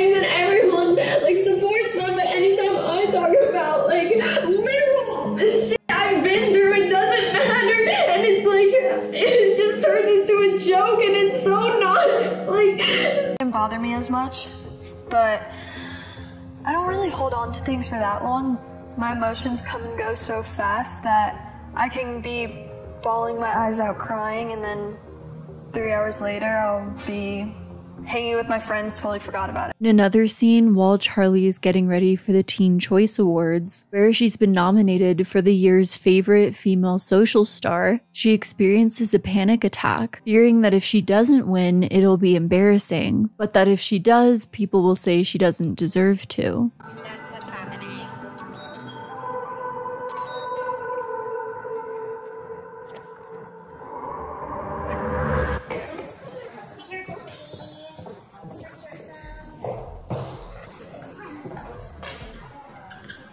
If I don't win, people are gonna make fun of me. Oh, if I do win, people are gonna say I don't deserve it. And I think there's just a lot going through her head. It seems that both sisters feel like they cannot fail at anything. Something does not go perfectly. It tends to upset me. They're so afraid to fail, which is just not healthy and a disaster in the making because no one never fails. Their fault. It's not their fault that a hundred million people decided to make them the most famous family on TikTok. It's not Dixie's fault that she's now so popular that every single thing she does will be endlessly scrutinized. And that's where she's in sort of an impossible situation. With anything in life, failure is a part of success. You have to fail some so you can grow. And it's gotta be so fucking hard to fail in front of millions of people, many of whom are rooting for you to fail for no reason. So, what happens when the D'Amelios finally fail? Like someone that has OCD, that is also perfectionism, that that's really hard on yourself when you're mm. very young and you're growing up and you're trying to figure out who you are and wanting to be this perfect version of yourself and just always being disappointed. I feel like mm. that was something I struggled with for a really long time. What could have possibly been happening is the reality show could have possibly been filming the burnout that the two sisters were experiencing from everything they did the year prior in 2020. As we covered, they were doing so many brand deals and so many appearances, and even still taking so many deals as quickly as they can through this newfound fame, afraid that it'll all burn away quickly. The brightest matches burn out the quickest. It just seemed like, in general, they were exhausted and overwhelmed by everything that was being thrown at them when they were still minors. And because of TikTok's algorithm, where it automatically generates content for you at a fast pace, people can gain millions of followers overnight. But as quickly as creators rise, they can fall. It almost feels like I'm getting a taste of celebrity, but it's never consistent. And as soon as you get it, it's gone. And you're constantly trying to get it back, said Lauren Bassina. Sorry if I said your last name wrong, a creator on TikTok. During the D'Amelio show, Dixie made a comment saying, My biggest goal professionally is probably to marry rich. Like, I really don't want to work anymore. There's no pressure for me to release music. Podcast is still work in progress. And so right now, My biggest goals professionally is probably to marry rich. Like, I really don't want to work anymore. which caused her to face a lot of criticism and backlash. While this comment could have been a result of burnout, feeling overworked, if you look at the two sisters' schedules, how many brain deals they had to constantly do, how much work was being shoved down their throats, I could understand not wanting to work anymore, wanting to be saved from the stress of having to constantly work to keep the adults around you happy. But at the same time, her comments upset a lot of people because it came across once again as tone deaf and privileged. Dixie is rich. The quote share, I don't need to marry a rich man. I am a rich man. My mom said to me, You know, sweetheart, one day you should settle down and marry a rich man.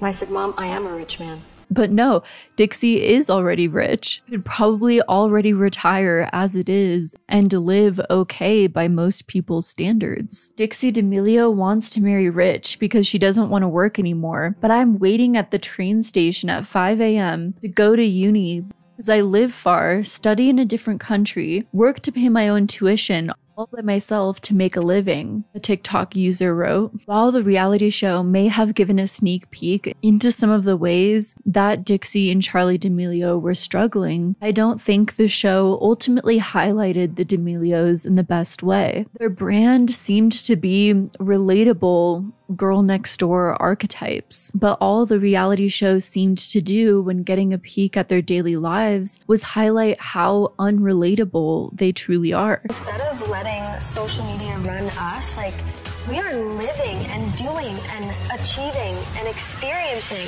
I think you should experience it. You always say I want to experience things, but I don't think you actually want to experience things because you would experience it if you wanted to experience things. I don't know what you're talking about. Even a lot of the things they were struggling with was how they were too famous, which in the grand scheme of things is very different from most people's real life problems. And when Dixie says that she wants to stop working and just marry rich, it just reminds people of how rich and privileged she is in the first place to be able to say that she doesn't want to work anymore when she was, what, 21 at the time? And all of a sudden, people get the ick. The entire brand that they built around them of relatability just completely slips away. When I watched the D'Amelio show, I felt like they hated each other. Honestly, I felt like I was watching a family that was just the personification of late stage capitalism and social media and how separated they were. They're always on their phones. There was no connection between them. And because of that, we didn't really see ourselves in them and instead just saw them for what they are, which is these aspirational figures who aren't appreciative of the platforms that they have and the power that they have and the money that they have. And that was the slow death of them, their brand, and the way they were perceived. Their entire show was basically, I don't like what I'm doing. Though initially, The D'Amelio Show was surprisingly successful, becoming the most watched unscripted series among all first series titles in the genre on Hulu, and winning an MTV Movie and TV Award for the best unscripted series, you know, for all of its very engaging moments. Actually aired last week, I was able to tune in to some riveting television. Is that what you did all day? Uh, yes. Well, I went to the gym. I don't have a can opener.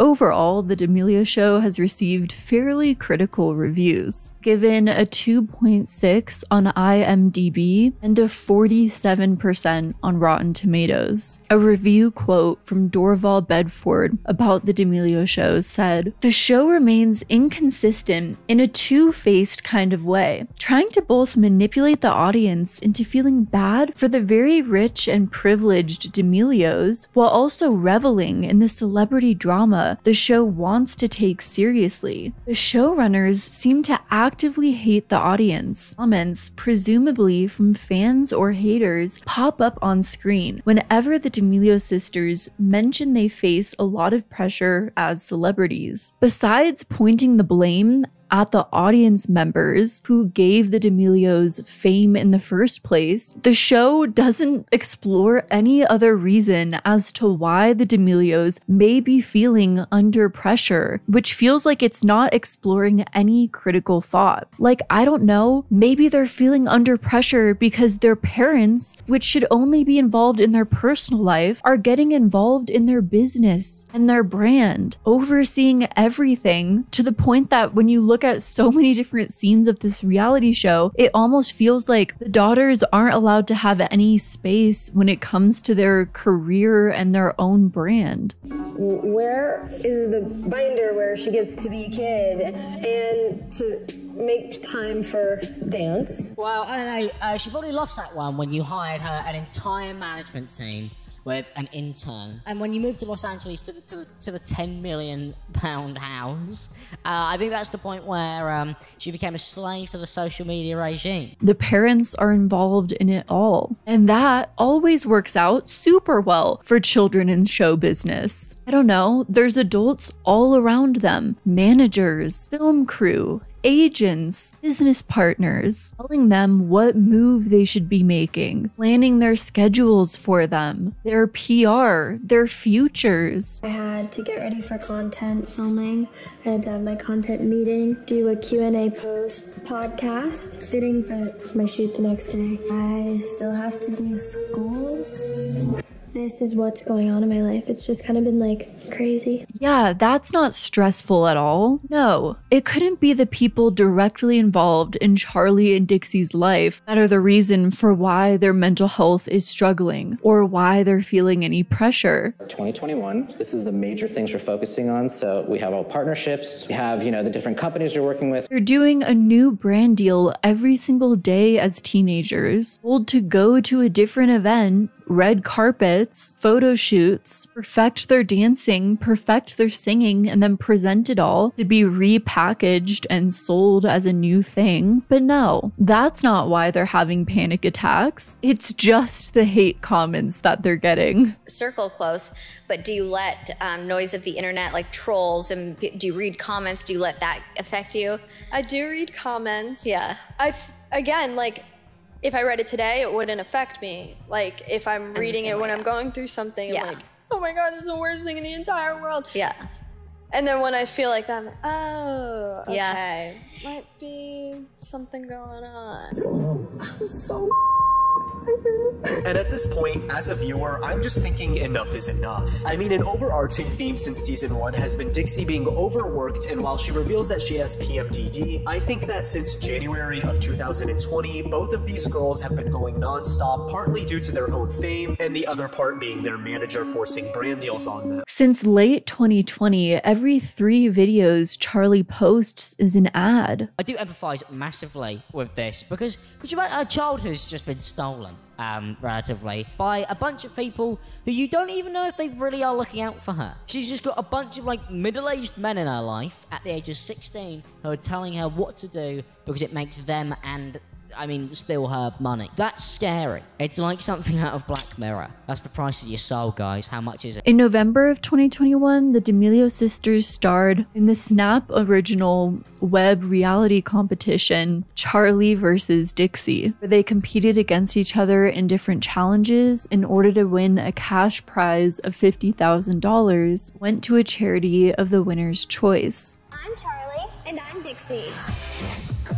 And we're going head to for the ultimate family bragging rights. Charli came out on top, winning $30,000 for her charity, and Dixie won 20,000 for her charity. According to Snapchat, more than 20 million users tuned in to season one of Charli versus Dixie.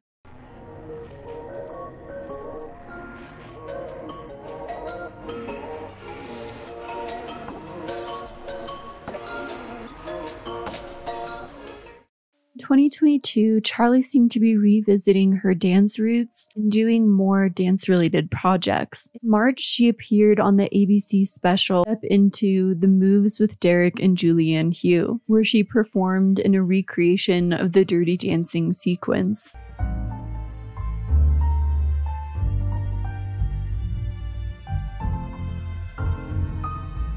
Then in August, Charli and her mother Heidi were announced as celebrity participants in the 31st season of Dancing with the Stars. The first ever mother daughter duo on the show. They are the stars of the D'Amelio show on Hulu. Dancing with the Stars is a reality show competition where a bunch of different celebrities from a bunch of different backgrounds get together and dish it out on the dance floor. That's a terrible way of explaining it. But basically, these celebrities are paired off with a professional dancer, and each week they have to perform. Goal is that the best dancer wins. A lot of people expressed their annoyance that Charli was on the show because normally celebrities that compete on the show are novices when it comes to dancing. That seems to be the fun of watching the show is to watch newer dancers try their hand at dancing. But since Charli was already so skilled, she just kind of blew everyone else out of the water. But the other thing that is also kind of weird about it is why did Heidi feel the need to also go on Dancing with the Stars at the exact same time as her daughter? Can you let your daughter have her own thing? Please. So it's the first um, mother daughter. That's competing against this is other. incredible. That's huge. That's amazing. I don't know how I feel about that because I've never been in a position like this. I, Heidi surprisingly made it far in the competition, ranking 8 out of the 16, even though she didn't have a background in dance compared to her daughter. Though, in an episode of The D'Amelio Show, Mark and Heidi talk about how Dancing with the Stars apparently affected their marriage because Mark wasn't prepared for it. Mark said, If I would have known what I know now, that, like, dude, she wants her career. Dancing with the Stars for me just created this huge shift in our family, which I wasn't prepared for. If I would have known what I know now, that like, dude, she wants her her career. She wants exactly what I've been doing over the last 20 years. Charli and her partner made it to the finale and won the competition during that season of Dancing with the Stars. Please step forward. The winners and new champions of Dancing with the Stars are.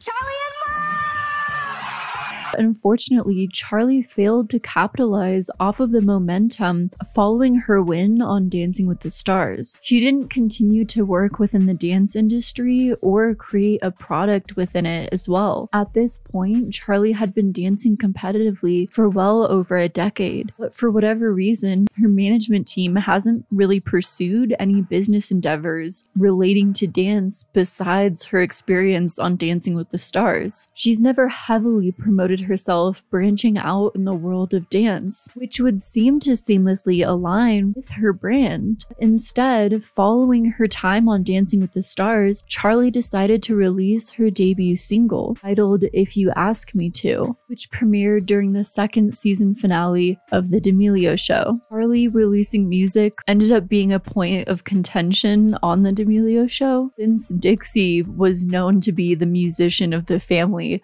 and was releasing music at the time, and Charli was mainly known to be the dancer. In 2022, it was announced that Charli would star as the lead in Village Roadshow Pictures and Ryan Kavanaugh's upcoming supernatural thriller film, Homeschool. So Charli scared to tell Dixie that she was releasing music, lied to her and said that she was attending acting classes instead of saying she was attending music sessions. Yeah, we, we actually said I was going to acting class. But God, she's so pretty and funny and witty. I don't think that I'd stand a chance.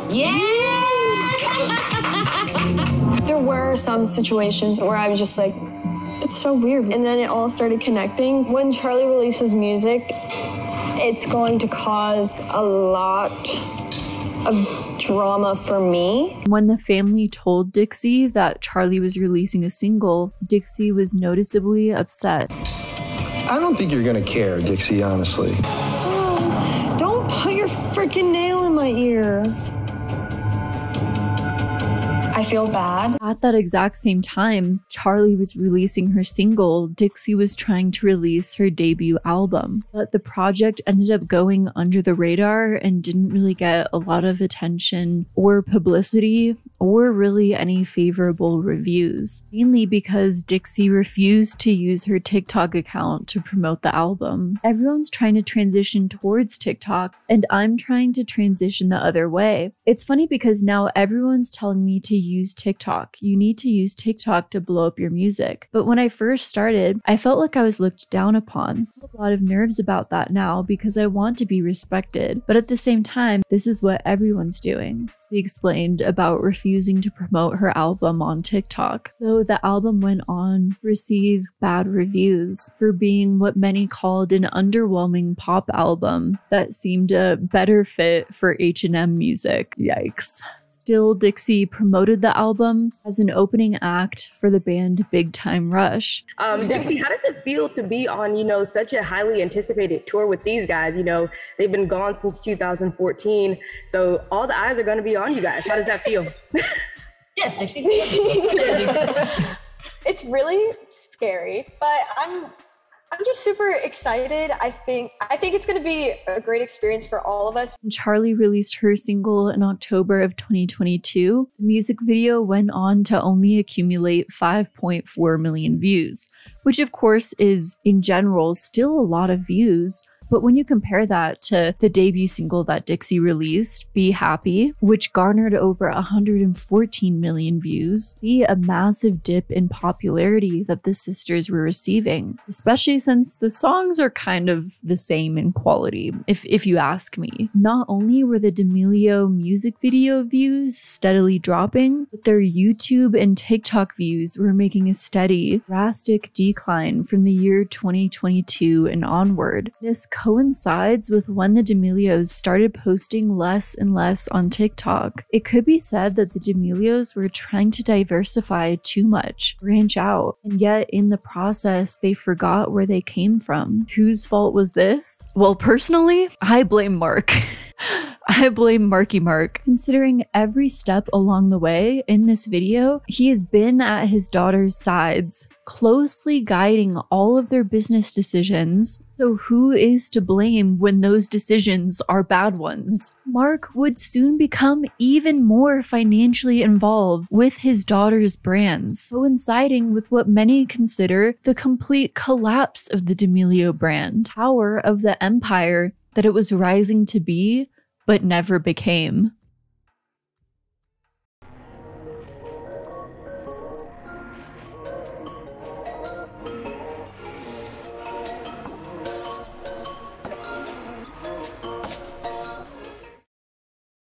Charli should have made a dancewear line. Like, why are they selling popcorn? They say yes to any business opportunity, and that takes away their credibility. Instead of that, instead of sitting at the drawing board and thinking, you know what, if I'm gonna start a business, what's authentic to me?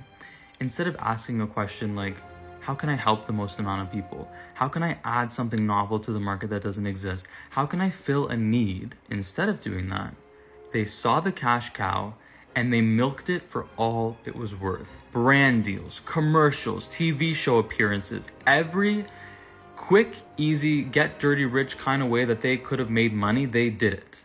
Okay?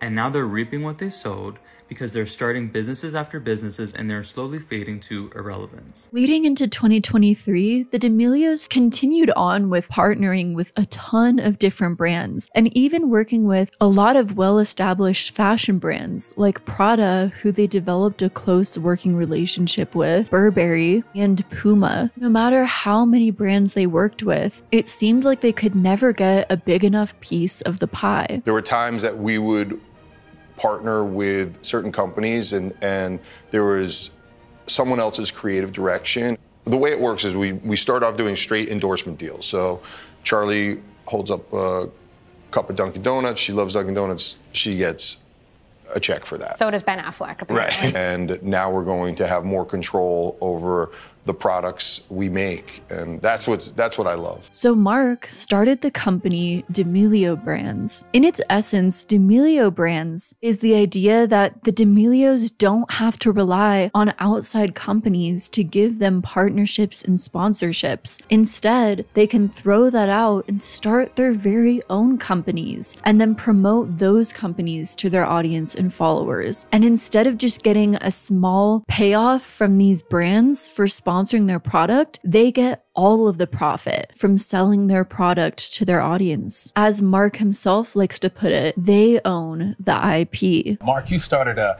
a shoe line and snacks aside from the show. What's it like as a, a family, you know, controlling and working this business here? It's great. When we first started TikTok, I kind of felt like a fish out of water, but I, my, my background is in brand, so this is the first thing that we've done over the last three years that I really feel comfortable. We want for our family, especially Dixie and Charli, is to make this something that they have ownership in, but will stand the test of time, so they can be involved in it as much or as little as they want, says Mark D'Amelio.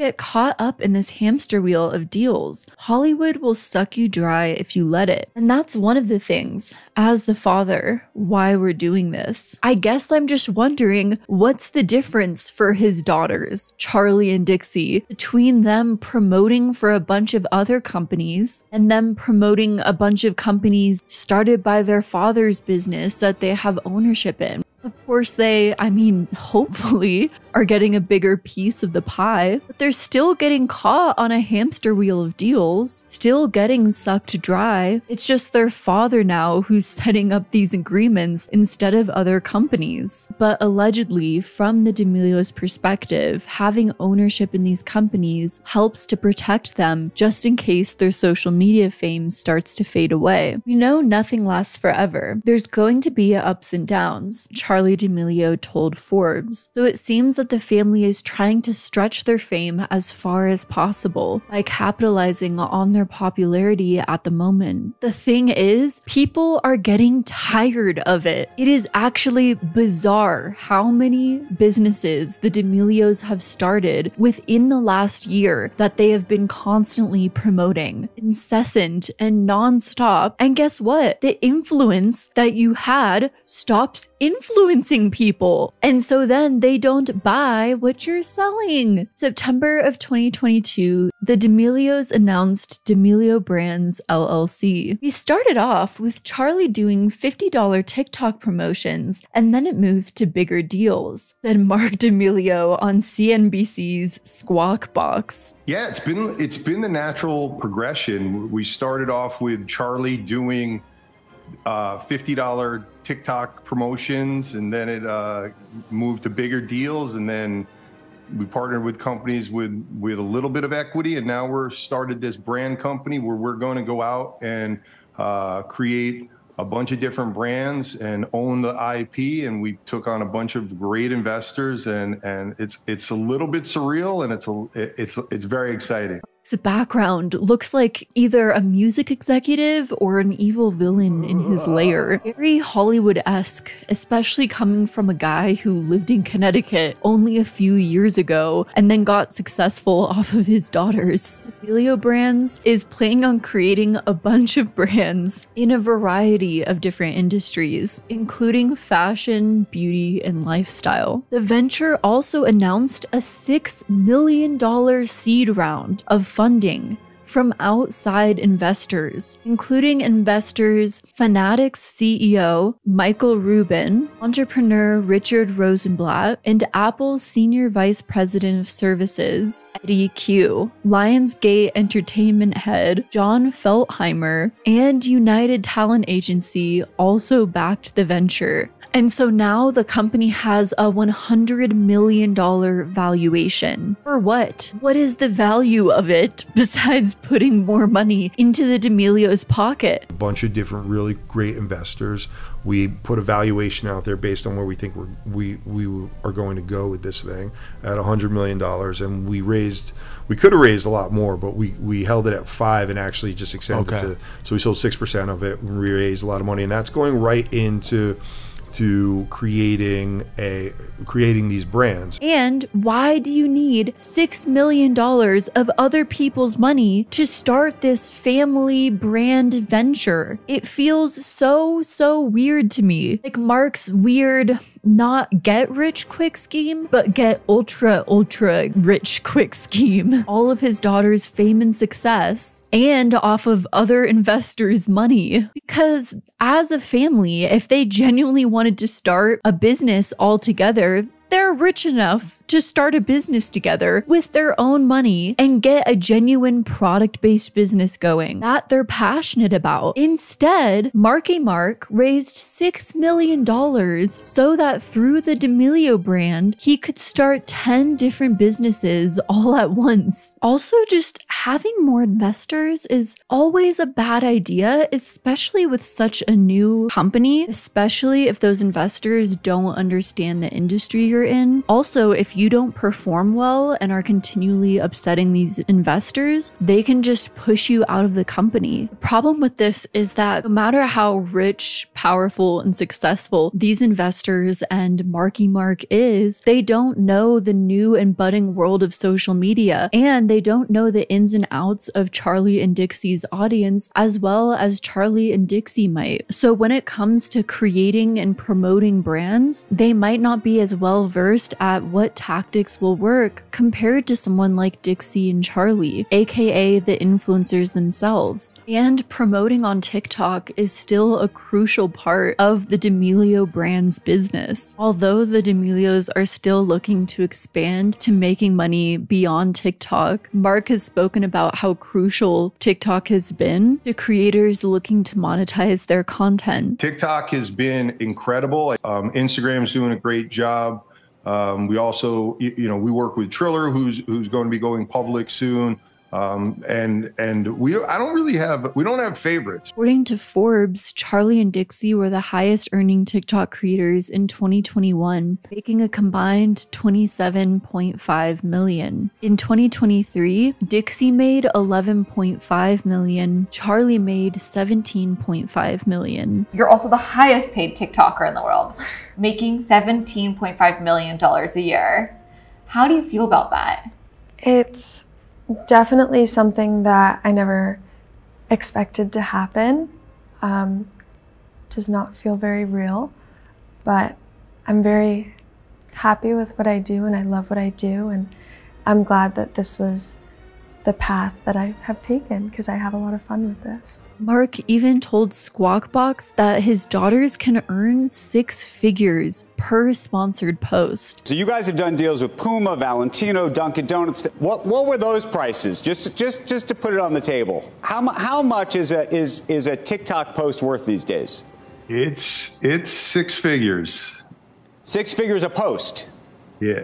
Yes. Not for me. I'm, I'll do it for for very cheap. But uh, my my my my daughters get a get a get a decent amount of money. So And yet, instead of listening to his daughters or continuing to let his daughters profit off of the massive amount of money that they were making, Mark created a brand where some of that money would also go through him. Think about it. If Charli is getting paid to do a sponsored post that makes six figures, then that money is getting saved for Charli. Maybe a percentage is getting taken away for managers and other industry experts who helped facilitate that deal but most of the money goes directly to Charli. If Mark starts the D'Amelio brands and is the CEO and co founder, creates all these different brands that he has his daughters promote, well, when people go to buy from the brands that his daughter promotes, Mark directly profits from it, not just his daughters. So creating the D'Amelio brands, in my opinion, was a way for Mark to ensure that he could profit off of his daughter's endeavors and not just solely his daughters. In May of 2023, the D'Amelio Brands announced the global launch of its very first brand, D'Amelio Footwear.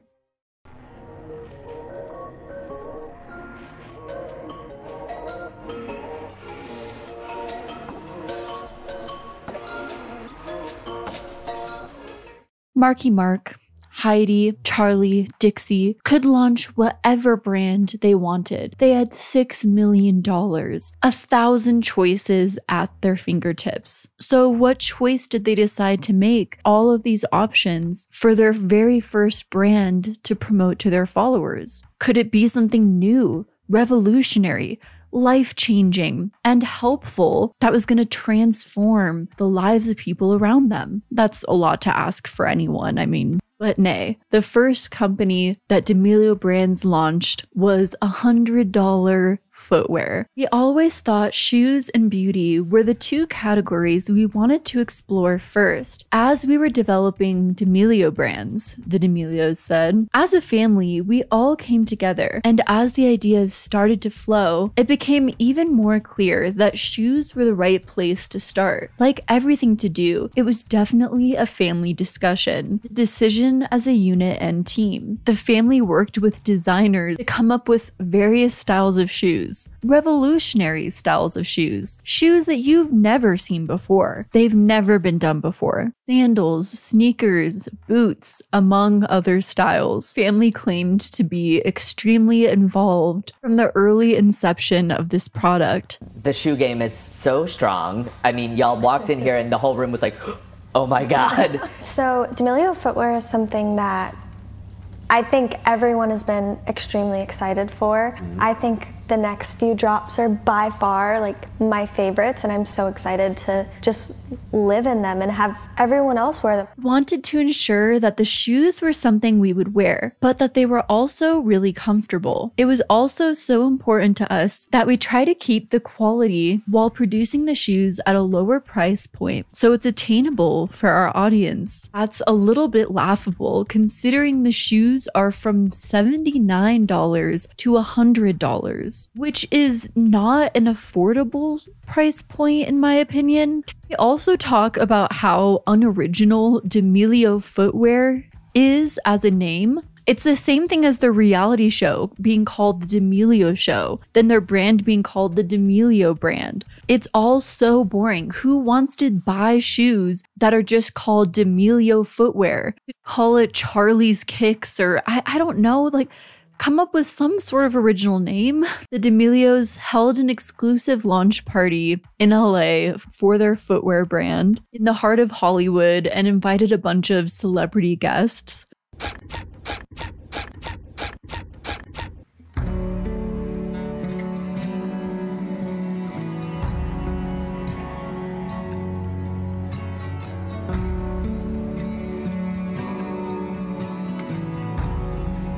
Which that in itself feels like an issue because it feels like they're focused on getting a bunch of A-lister and celebrity approval on this brand, when in reality, to have sales and success in a brand, they need their audience's approval for their audience to just like the brand and think it's cool, or else, regardless, it's just not going to sell well. So it just goes to show already how they're just focusing on the wrong things. Another example of this is the price point. Influencers who tend to know their audience well, they'll often sell products that are affordable and fit well with their demographic. For example, the D'Amelio's demographic is young people who are probably going to have to ask their parents to buy them things. So, who's the target audience?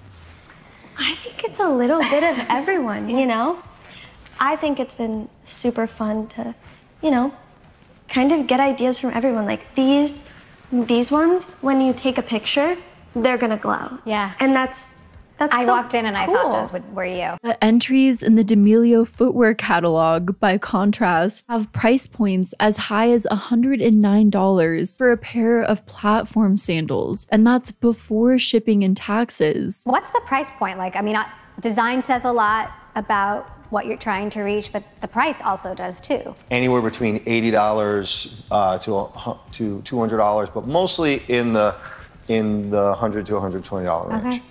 You know, in talks of this, I talked to my friends that, you know, just went to college. I was like, what were you wearing at graduation? What would you spend on a pair of boots? What is comfortable in your range? If you compare this to a company like Feastables by Mr. Beast, which sells affordable chocolate bars in an easy to reach store, Walmart, regardless of the ethics or quality of the product, which I'm not familiar with, Mr. Beast knew his audience when he created it, what price point they were willing to buy from, and even more importantly, the fact that his young audience probably didn't have the ability or purchase power to buy products on their own. They needed parent permission and parent capital. So, selling a product in a place like Walmart, where parents shop already and are already buying things, children can easily add the chocolate bar into their parents' shopping cart and then support their favorite YouTuber, Mr. Beast. You compare that to D'Amelio Footwear, which has a similar audience demographic, yet they're selling shoes online only and for over a $100, which means that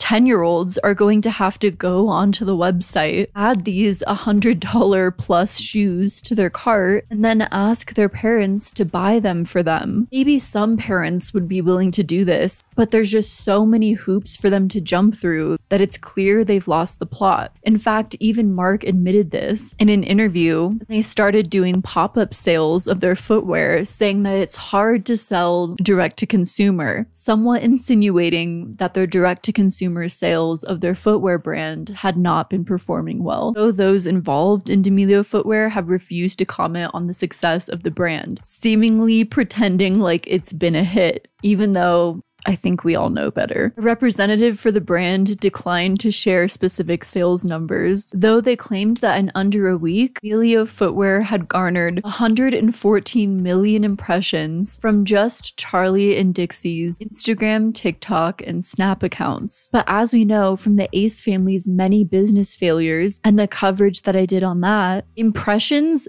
definitely do not equal sales. Quality of viewership is way more important than how many views or impressions an influencer is getting, especially when it comes to sale conversions. If you have 500,000 bots and 500,000 10 year olds who are viewing your content, how many people are going to purchase your $100 shoes? Very, very little.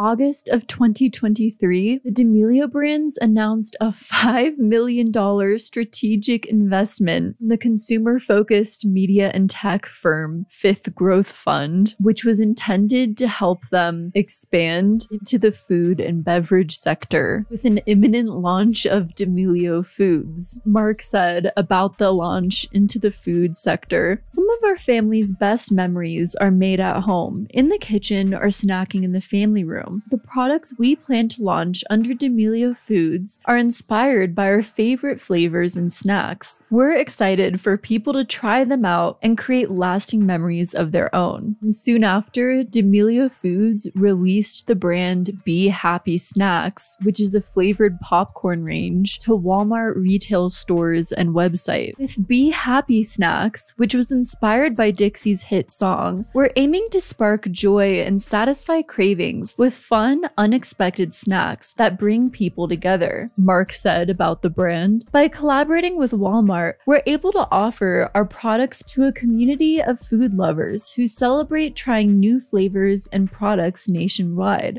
Hey girls! Today we have Be Happy Snacks Popcorn in the shade, shade cotton candy. in the shade cotton candy. And the you can purchase exclusively at Walmart. After the mistake that was D'Amelio footwear, Be Happy Snacks seemed to follow exactly in the Mr. Beast Feastables footsteps, selling an affordable snack and partnering with Walmart to sell the product in an easy to reach store.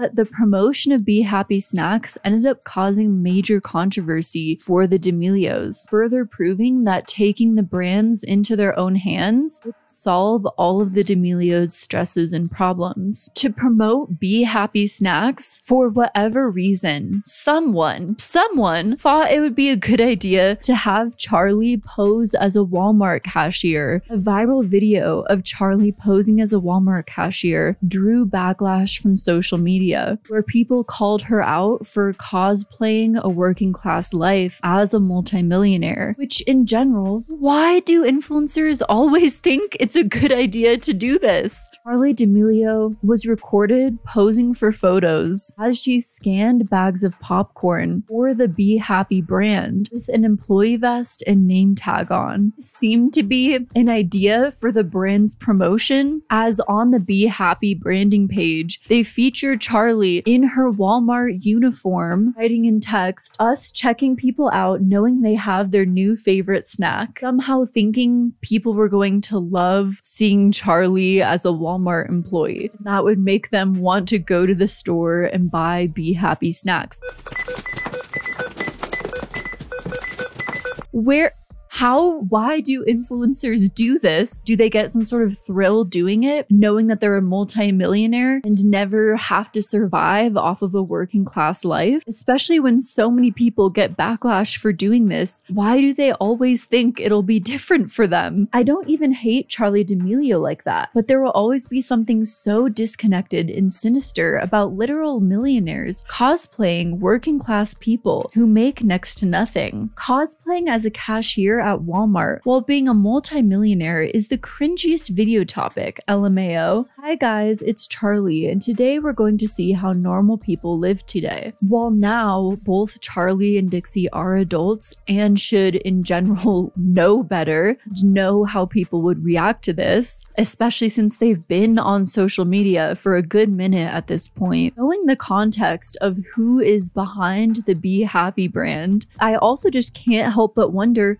whose idea this was for them to do this and how much of it was ultimately up to them. It's another demonstration of how Charli and Dixie D'Amelio's brands were slowly becoming completely out of their control and also scarily into their father's control as he develops all of these brands that they now have to promote. The D'Amelio brands trademarked the names It's Alright with the intentions on selling skincare, hair care, and beauty products. Though the D'Amelios haven't officially announced this brand to the public, a lot of influencers and celebrities have created skincare brands, and skincare is a growing industry. Though, in general, the brands that tend to be the most successful are the ones where it seems like the face of the brand has a genuine passion for it, and it remains to be seen whether or not people are getting tired of so many skincare brands being started by various influencers and celebrities especially if they've shown no prior interest. Will the general public turn away from them and see it as just a cash grab? Damn Fam merch is where the D'Amelios sell their family merch, which is strange because, first off, the family doesn't often promote this merch, but also on this family merch website, they should have at least merch for Charli and Dixie to be able to promote as individuals instead of just the collective family merch. Also, the website itself just doesn't have the best logo, like it's not recognizable to the D'Amelios. And the merch designs are so terrible. It's clear that just not a lot of effort was put into it whatsoever. Dixie has most recently partnered with a company called My Muse, which she has done sponsorships with in the past. Don't you love how you can see the full brand in the right way?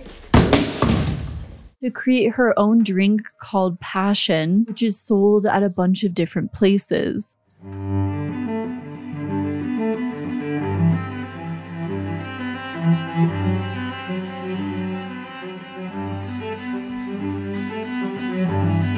Now, I'm not like a hardcore Dixie watcher. I'm not a hardcore Dix writer. Sorry. But from the content I've watched, Dixie doesn't talk a ton about drinks or liking soda drinks. So compared to Charli's partnership with Dunkin' Donuts, which seemed very natural and authentic, since she talked so much about liking Dunkin' Donuts and their coffee, the creation of this drink definitely seems very random. Though the packaging is very beautiful and it looks pretty cool. The D'Amelios have also made business deals to become involved with other companies as well. The D'Amelios struck a deal to become advisors and brand ambassadors for Lightricks in exchange for equity and an upfront cash payment. And then we started looking at deals that were kind of hybrid endorsement deals plus equity. And there's, I think we have probably um, seven, eight of those. That and one is Step, one is Lightricks, uh, one is Halo Dog Collars. The terms of the deal were not disclosed. It's interesting that they'd become advisors in another company because their own business endeavors, even in social media, which they're supposed to be experts in, have seemingly floundered. Lightricks is a photo editing app centralized company and owns several popular photo and video editing apps like Facetune and Videoleap.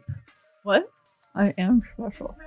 The D'Amelio family has, in the four years that they've gained social media fame and success, also gained quite a bit of a fortune. And instead of investing that into their own companies and ventures that they start, they decided to invest that into other companies in the hopes to further grow their wealth. Talkstars launching a venture capital fund in my crystal ball a few years ago, but here you are 444 Capital. Talk to us about the mission and what you're trying to do here. Yeah, so we we partnered with a group of really smart investors and they're putting money into really cool companies that all have a great story. So in early 2023, they launched a family fund called 444 Capital. The family fund is a $25 million fund led by all the family members along with some other people. They've made some investments into some wholesome companies like children's nutrition companies, different health companies, and also some weird investments like the company Hero Bread Bread, which is a low carb food company. You know, because we we need more of those out there. I say as I'm eating hot Cheetos. Love how when it features all of the investors on the website, it shows all of the D'Amelio family members following, specifically listing off how many followers they have. Because if there's anything I've learned from watching Shark Tank, that when you're looking for investors, you shouldn't look for investors that have the most industry expertise and connections in the niche and industry that you're involved in, or have connections in manufacturing and marketing. No, you need to look for investors who have a lot of followers. That's what it's all about.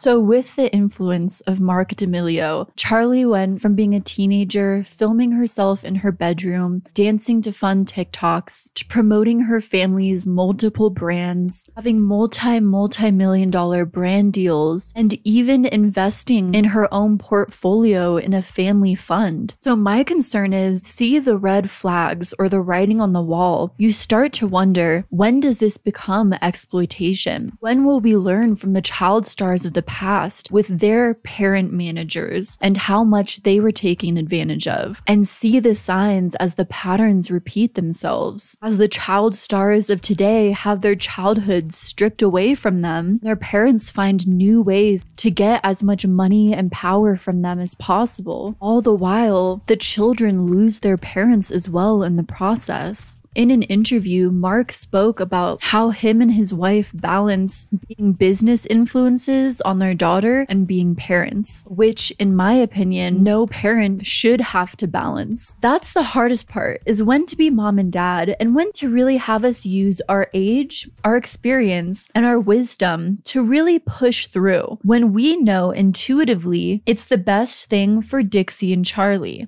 and when to back off and just be, hey, I want to be dad right now. It's the hardest balance because you're dealing with young women who you were trying to do the best thing for them and you have to know when to push and when is this just hey i don't want to get up for school in the morning kind of a, a moment or is this a true uh, mental health situation and i know they're going to look back on this ride as it being incredible. So, what you're saying is you have moments when you're not acting like Dixie and Charli's father. You act like you know what's best for them in business and influence their decisions. A business you're actively profiting off of and have a financial interest in, therefore, cannot be unbiased about as you're influencing them in their decisions and how much pressure you're putting on them. Wrong here, but a parent should just be a parent. Dude, I have a tough job because everyone thinks like I'm the dad that's pushing my kids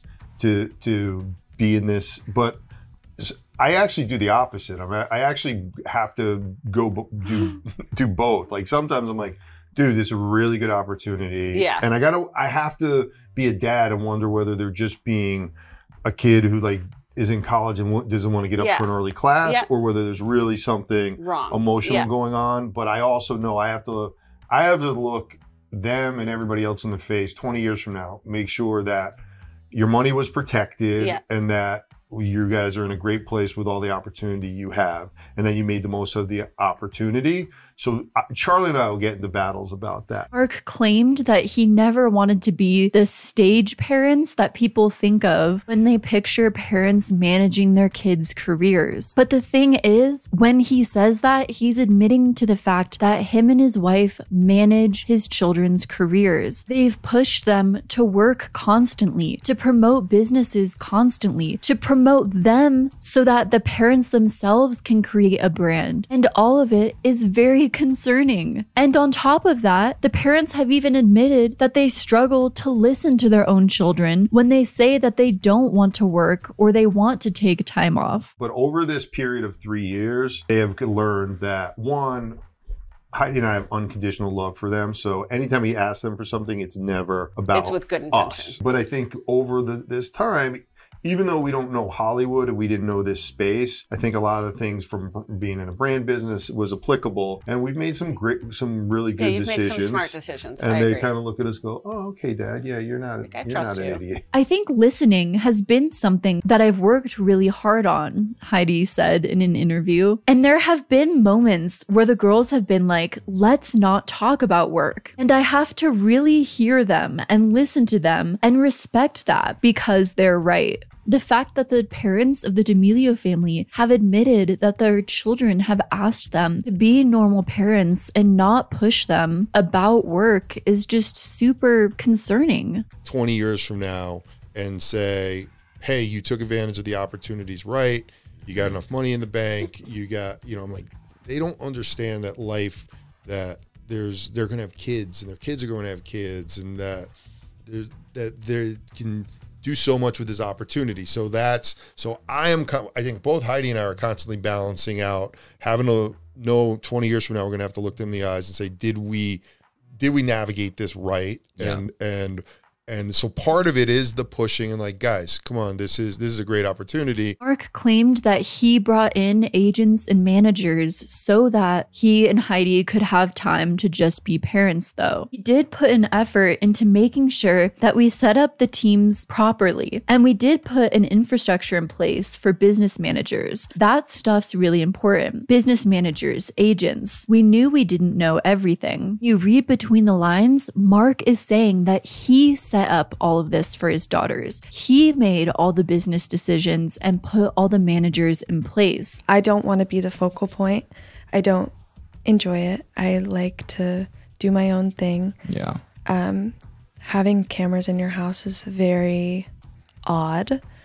You never really get used to it. And financially, so many bad things can happen with their parents having so much control over them from the agents, the managers, the D'Amelio brand. Everyone understands that you can make a career on social media. So Yeah. I think it's up to parents to get involved, but not to be the center of attention. I think Heidi and I have tried to balance it out where we're involved with, with the process, but we're never try to overshadow the girls. Parents deeply entangled themselves in their daughters' businesses, brands, lives. That feels deeply wrong. Now, at this point, it'll be virtually impossible for Charli and Dixie D'Amelio to branch off and try and develop their own career paths and identity and individual brands that aren't so intricately linked to their parents. I see my parents way more than any 19 year old should. we spend a lot of time together and it's great. I love it. But there is the other side of things that's like, well, they're asking us all to do this, but it's like, well, if, it sounds so horrible to say, but like if I don't do it, they won't be able to do it. It's like sometimes that's a little hard. First of all, Dixie and Charlie have admitted that they don't like working together. In a lie detector video done by Vanity Fair, both sisters agreed that they are not in a good environment when they're working together. Yeah. Do you like working with me? Sometimes, today. Today? In general? No. Telling the truth. We I, we get along when we're chilling and doing nothing. You think we're in a good like environment when we're working together? Mm, true. Makes a lot of sense. Even when families work together or start a business together, it's usually in a professional setting where there's clear boundaries in place. These sisters have had to go full time into a reality show, start tons of brands together, are constantly doing photo shoots together, appearances. They're working together all the time. Their personal and business life have become completely blurred, and that cannot be healthy for their relationship. And what is it that's leading to kind of the confusion within the family? Is it something that is easy to point out, or is it something that's a little bit more like deep down? I think everyone was just on such different pages for so long. And we were all so busy that no one was really having the conversations that we should have had. And, you know, when you work with your family, sometimes you don't get to be with each other without any cameras as much as you'd like. So it's like, you know, after so long of miscommunications or not talking to each other, the first time you see each other is like on camera and then emotions are are raised and then you say things that you don't mean and it's like you really just get to see how that can affect a family. And who pushed for this? Their parents. It just feels so incredibly icky to me.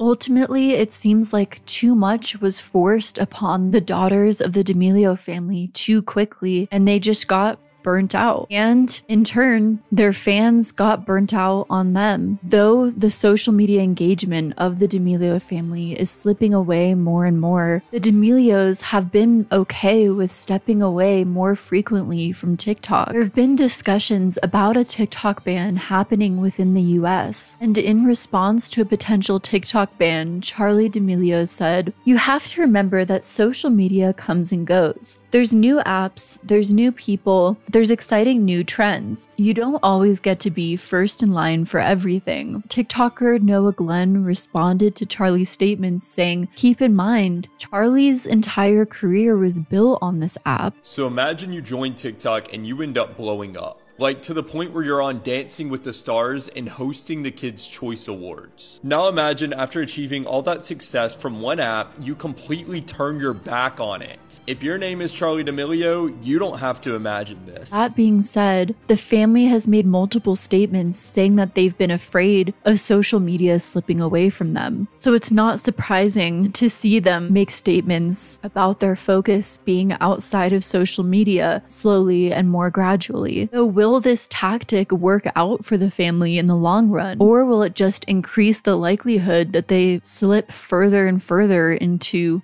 irrelevance. Mark D'Amelio said in an interview, I remember people going viral on Vine, and then all of a sudden it disappeared. So we definitely looked to expand through other platforms and other areas. We didn't want to keep all our eggs in one basket. At the end of the day, we're part of a family business, and if they don't want to do social media, they can always fall back on that, the mother said as well about not relying on social media. So both of the parents have been slowly encouraging the daughters to not rely on TikTok fame, at least from what it sounds like according to their interviews. But on top of that, both of the daughters' YouTube views have been abysmal lately. This is great, but you don't like social media comes and goes. And I've always had that in the back of my mind. Like one day, no one could care about who I am. So Yeah. let's just appreciate the moment. So, with all of these new brands coming out, will they have the same audience and promotion power that they used to have? If you just walk away from the platform that gave you any sort of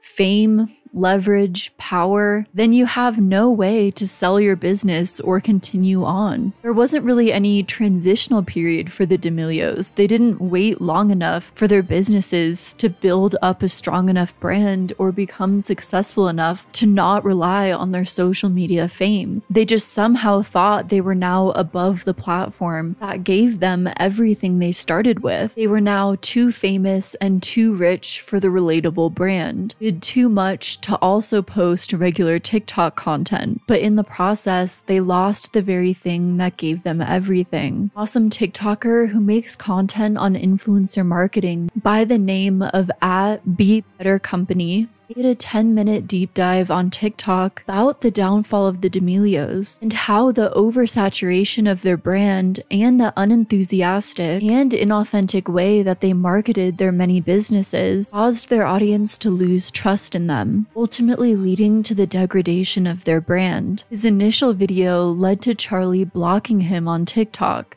It turns out that Charli D'Amelio was not happy that I discussed why her brand has completely and utterly failed from a marketing perspective because she just blocked me on TikTok. So, something about their current situation and how the public is noticing their, well, public failures is currently hitting home for them.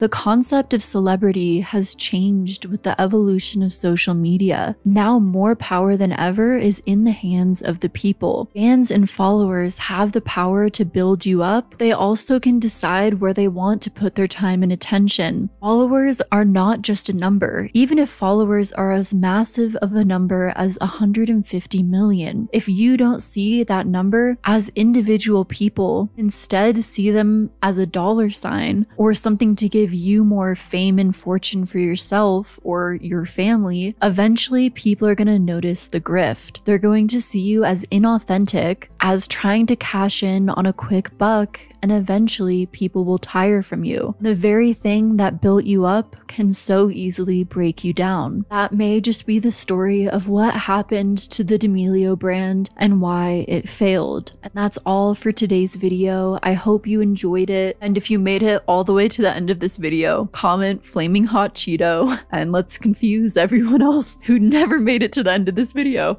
Um, thank you so much to my team who helped me in the creation process of video. And I hope you are all doing well. Till the next one, see you then. Bye.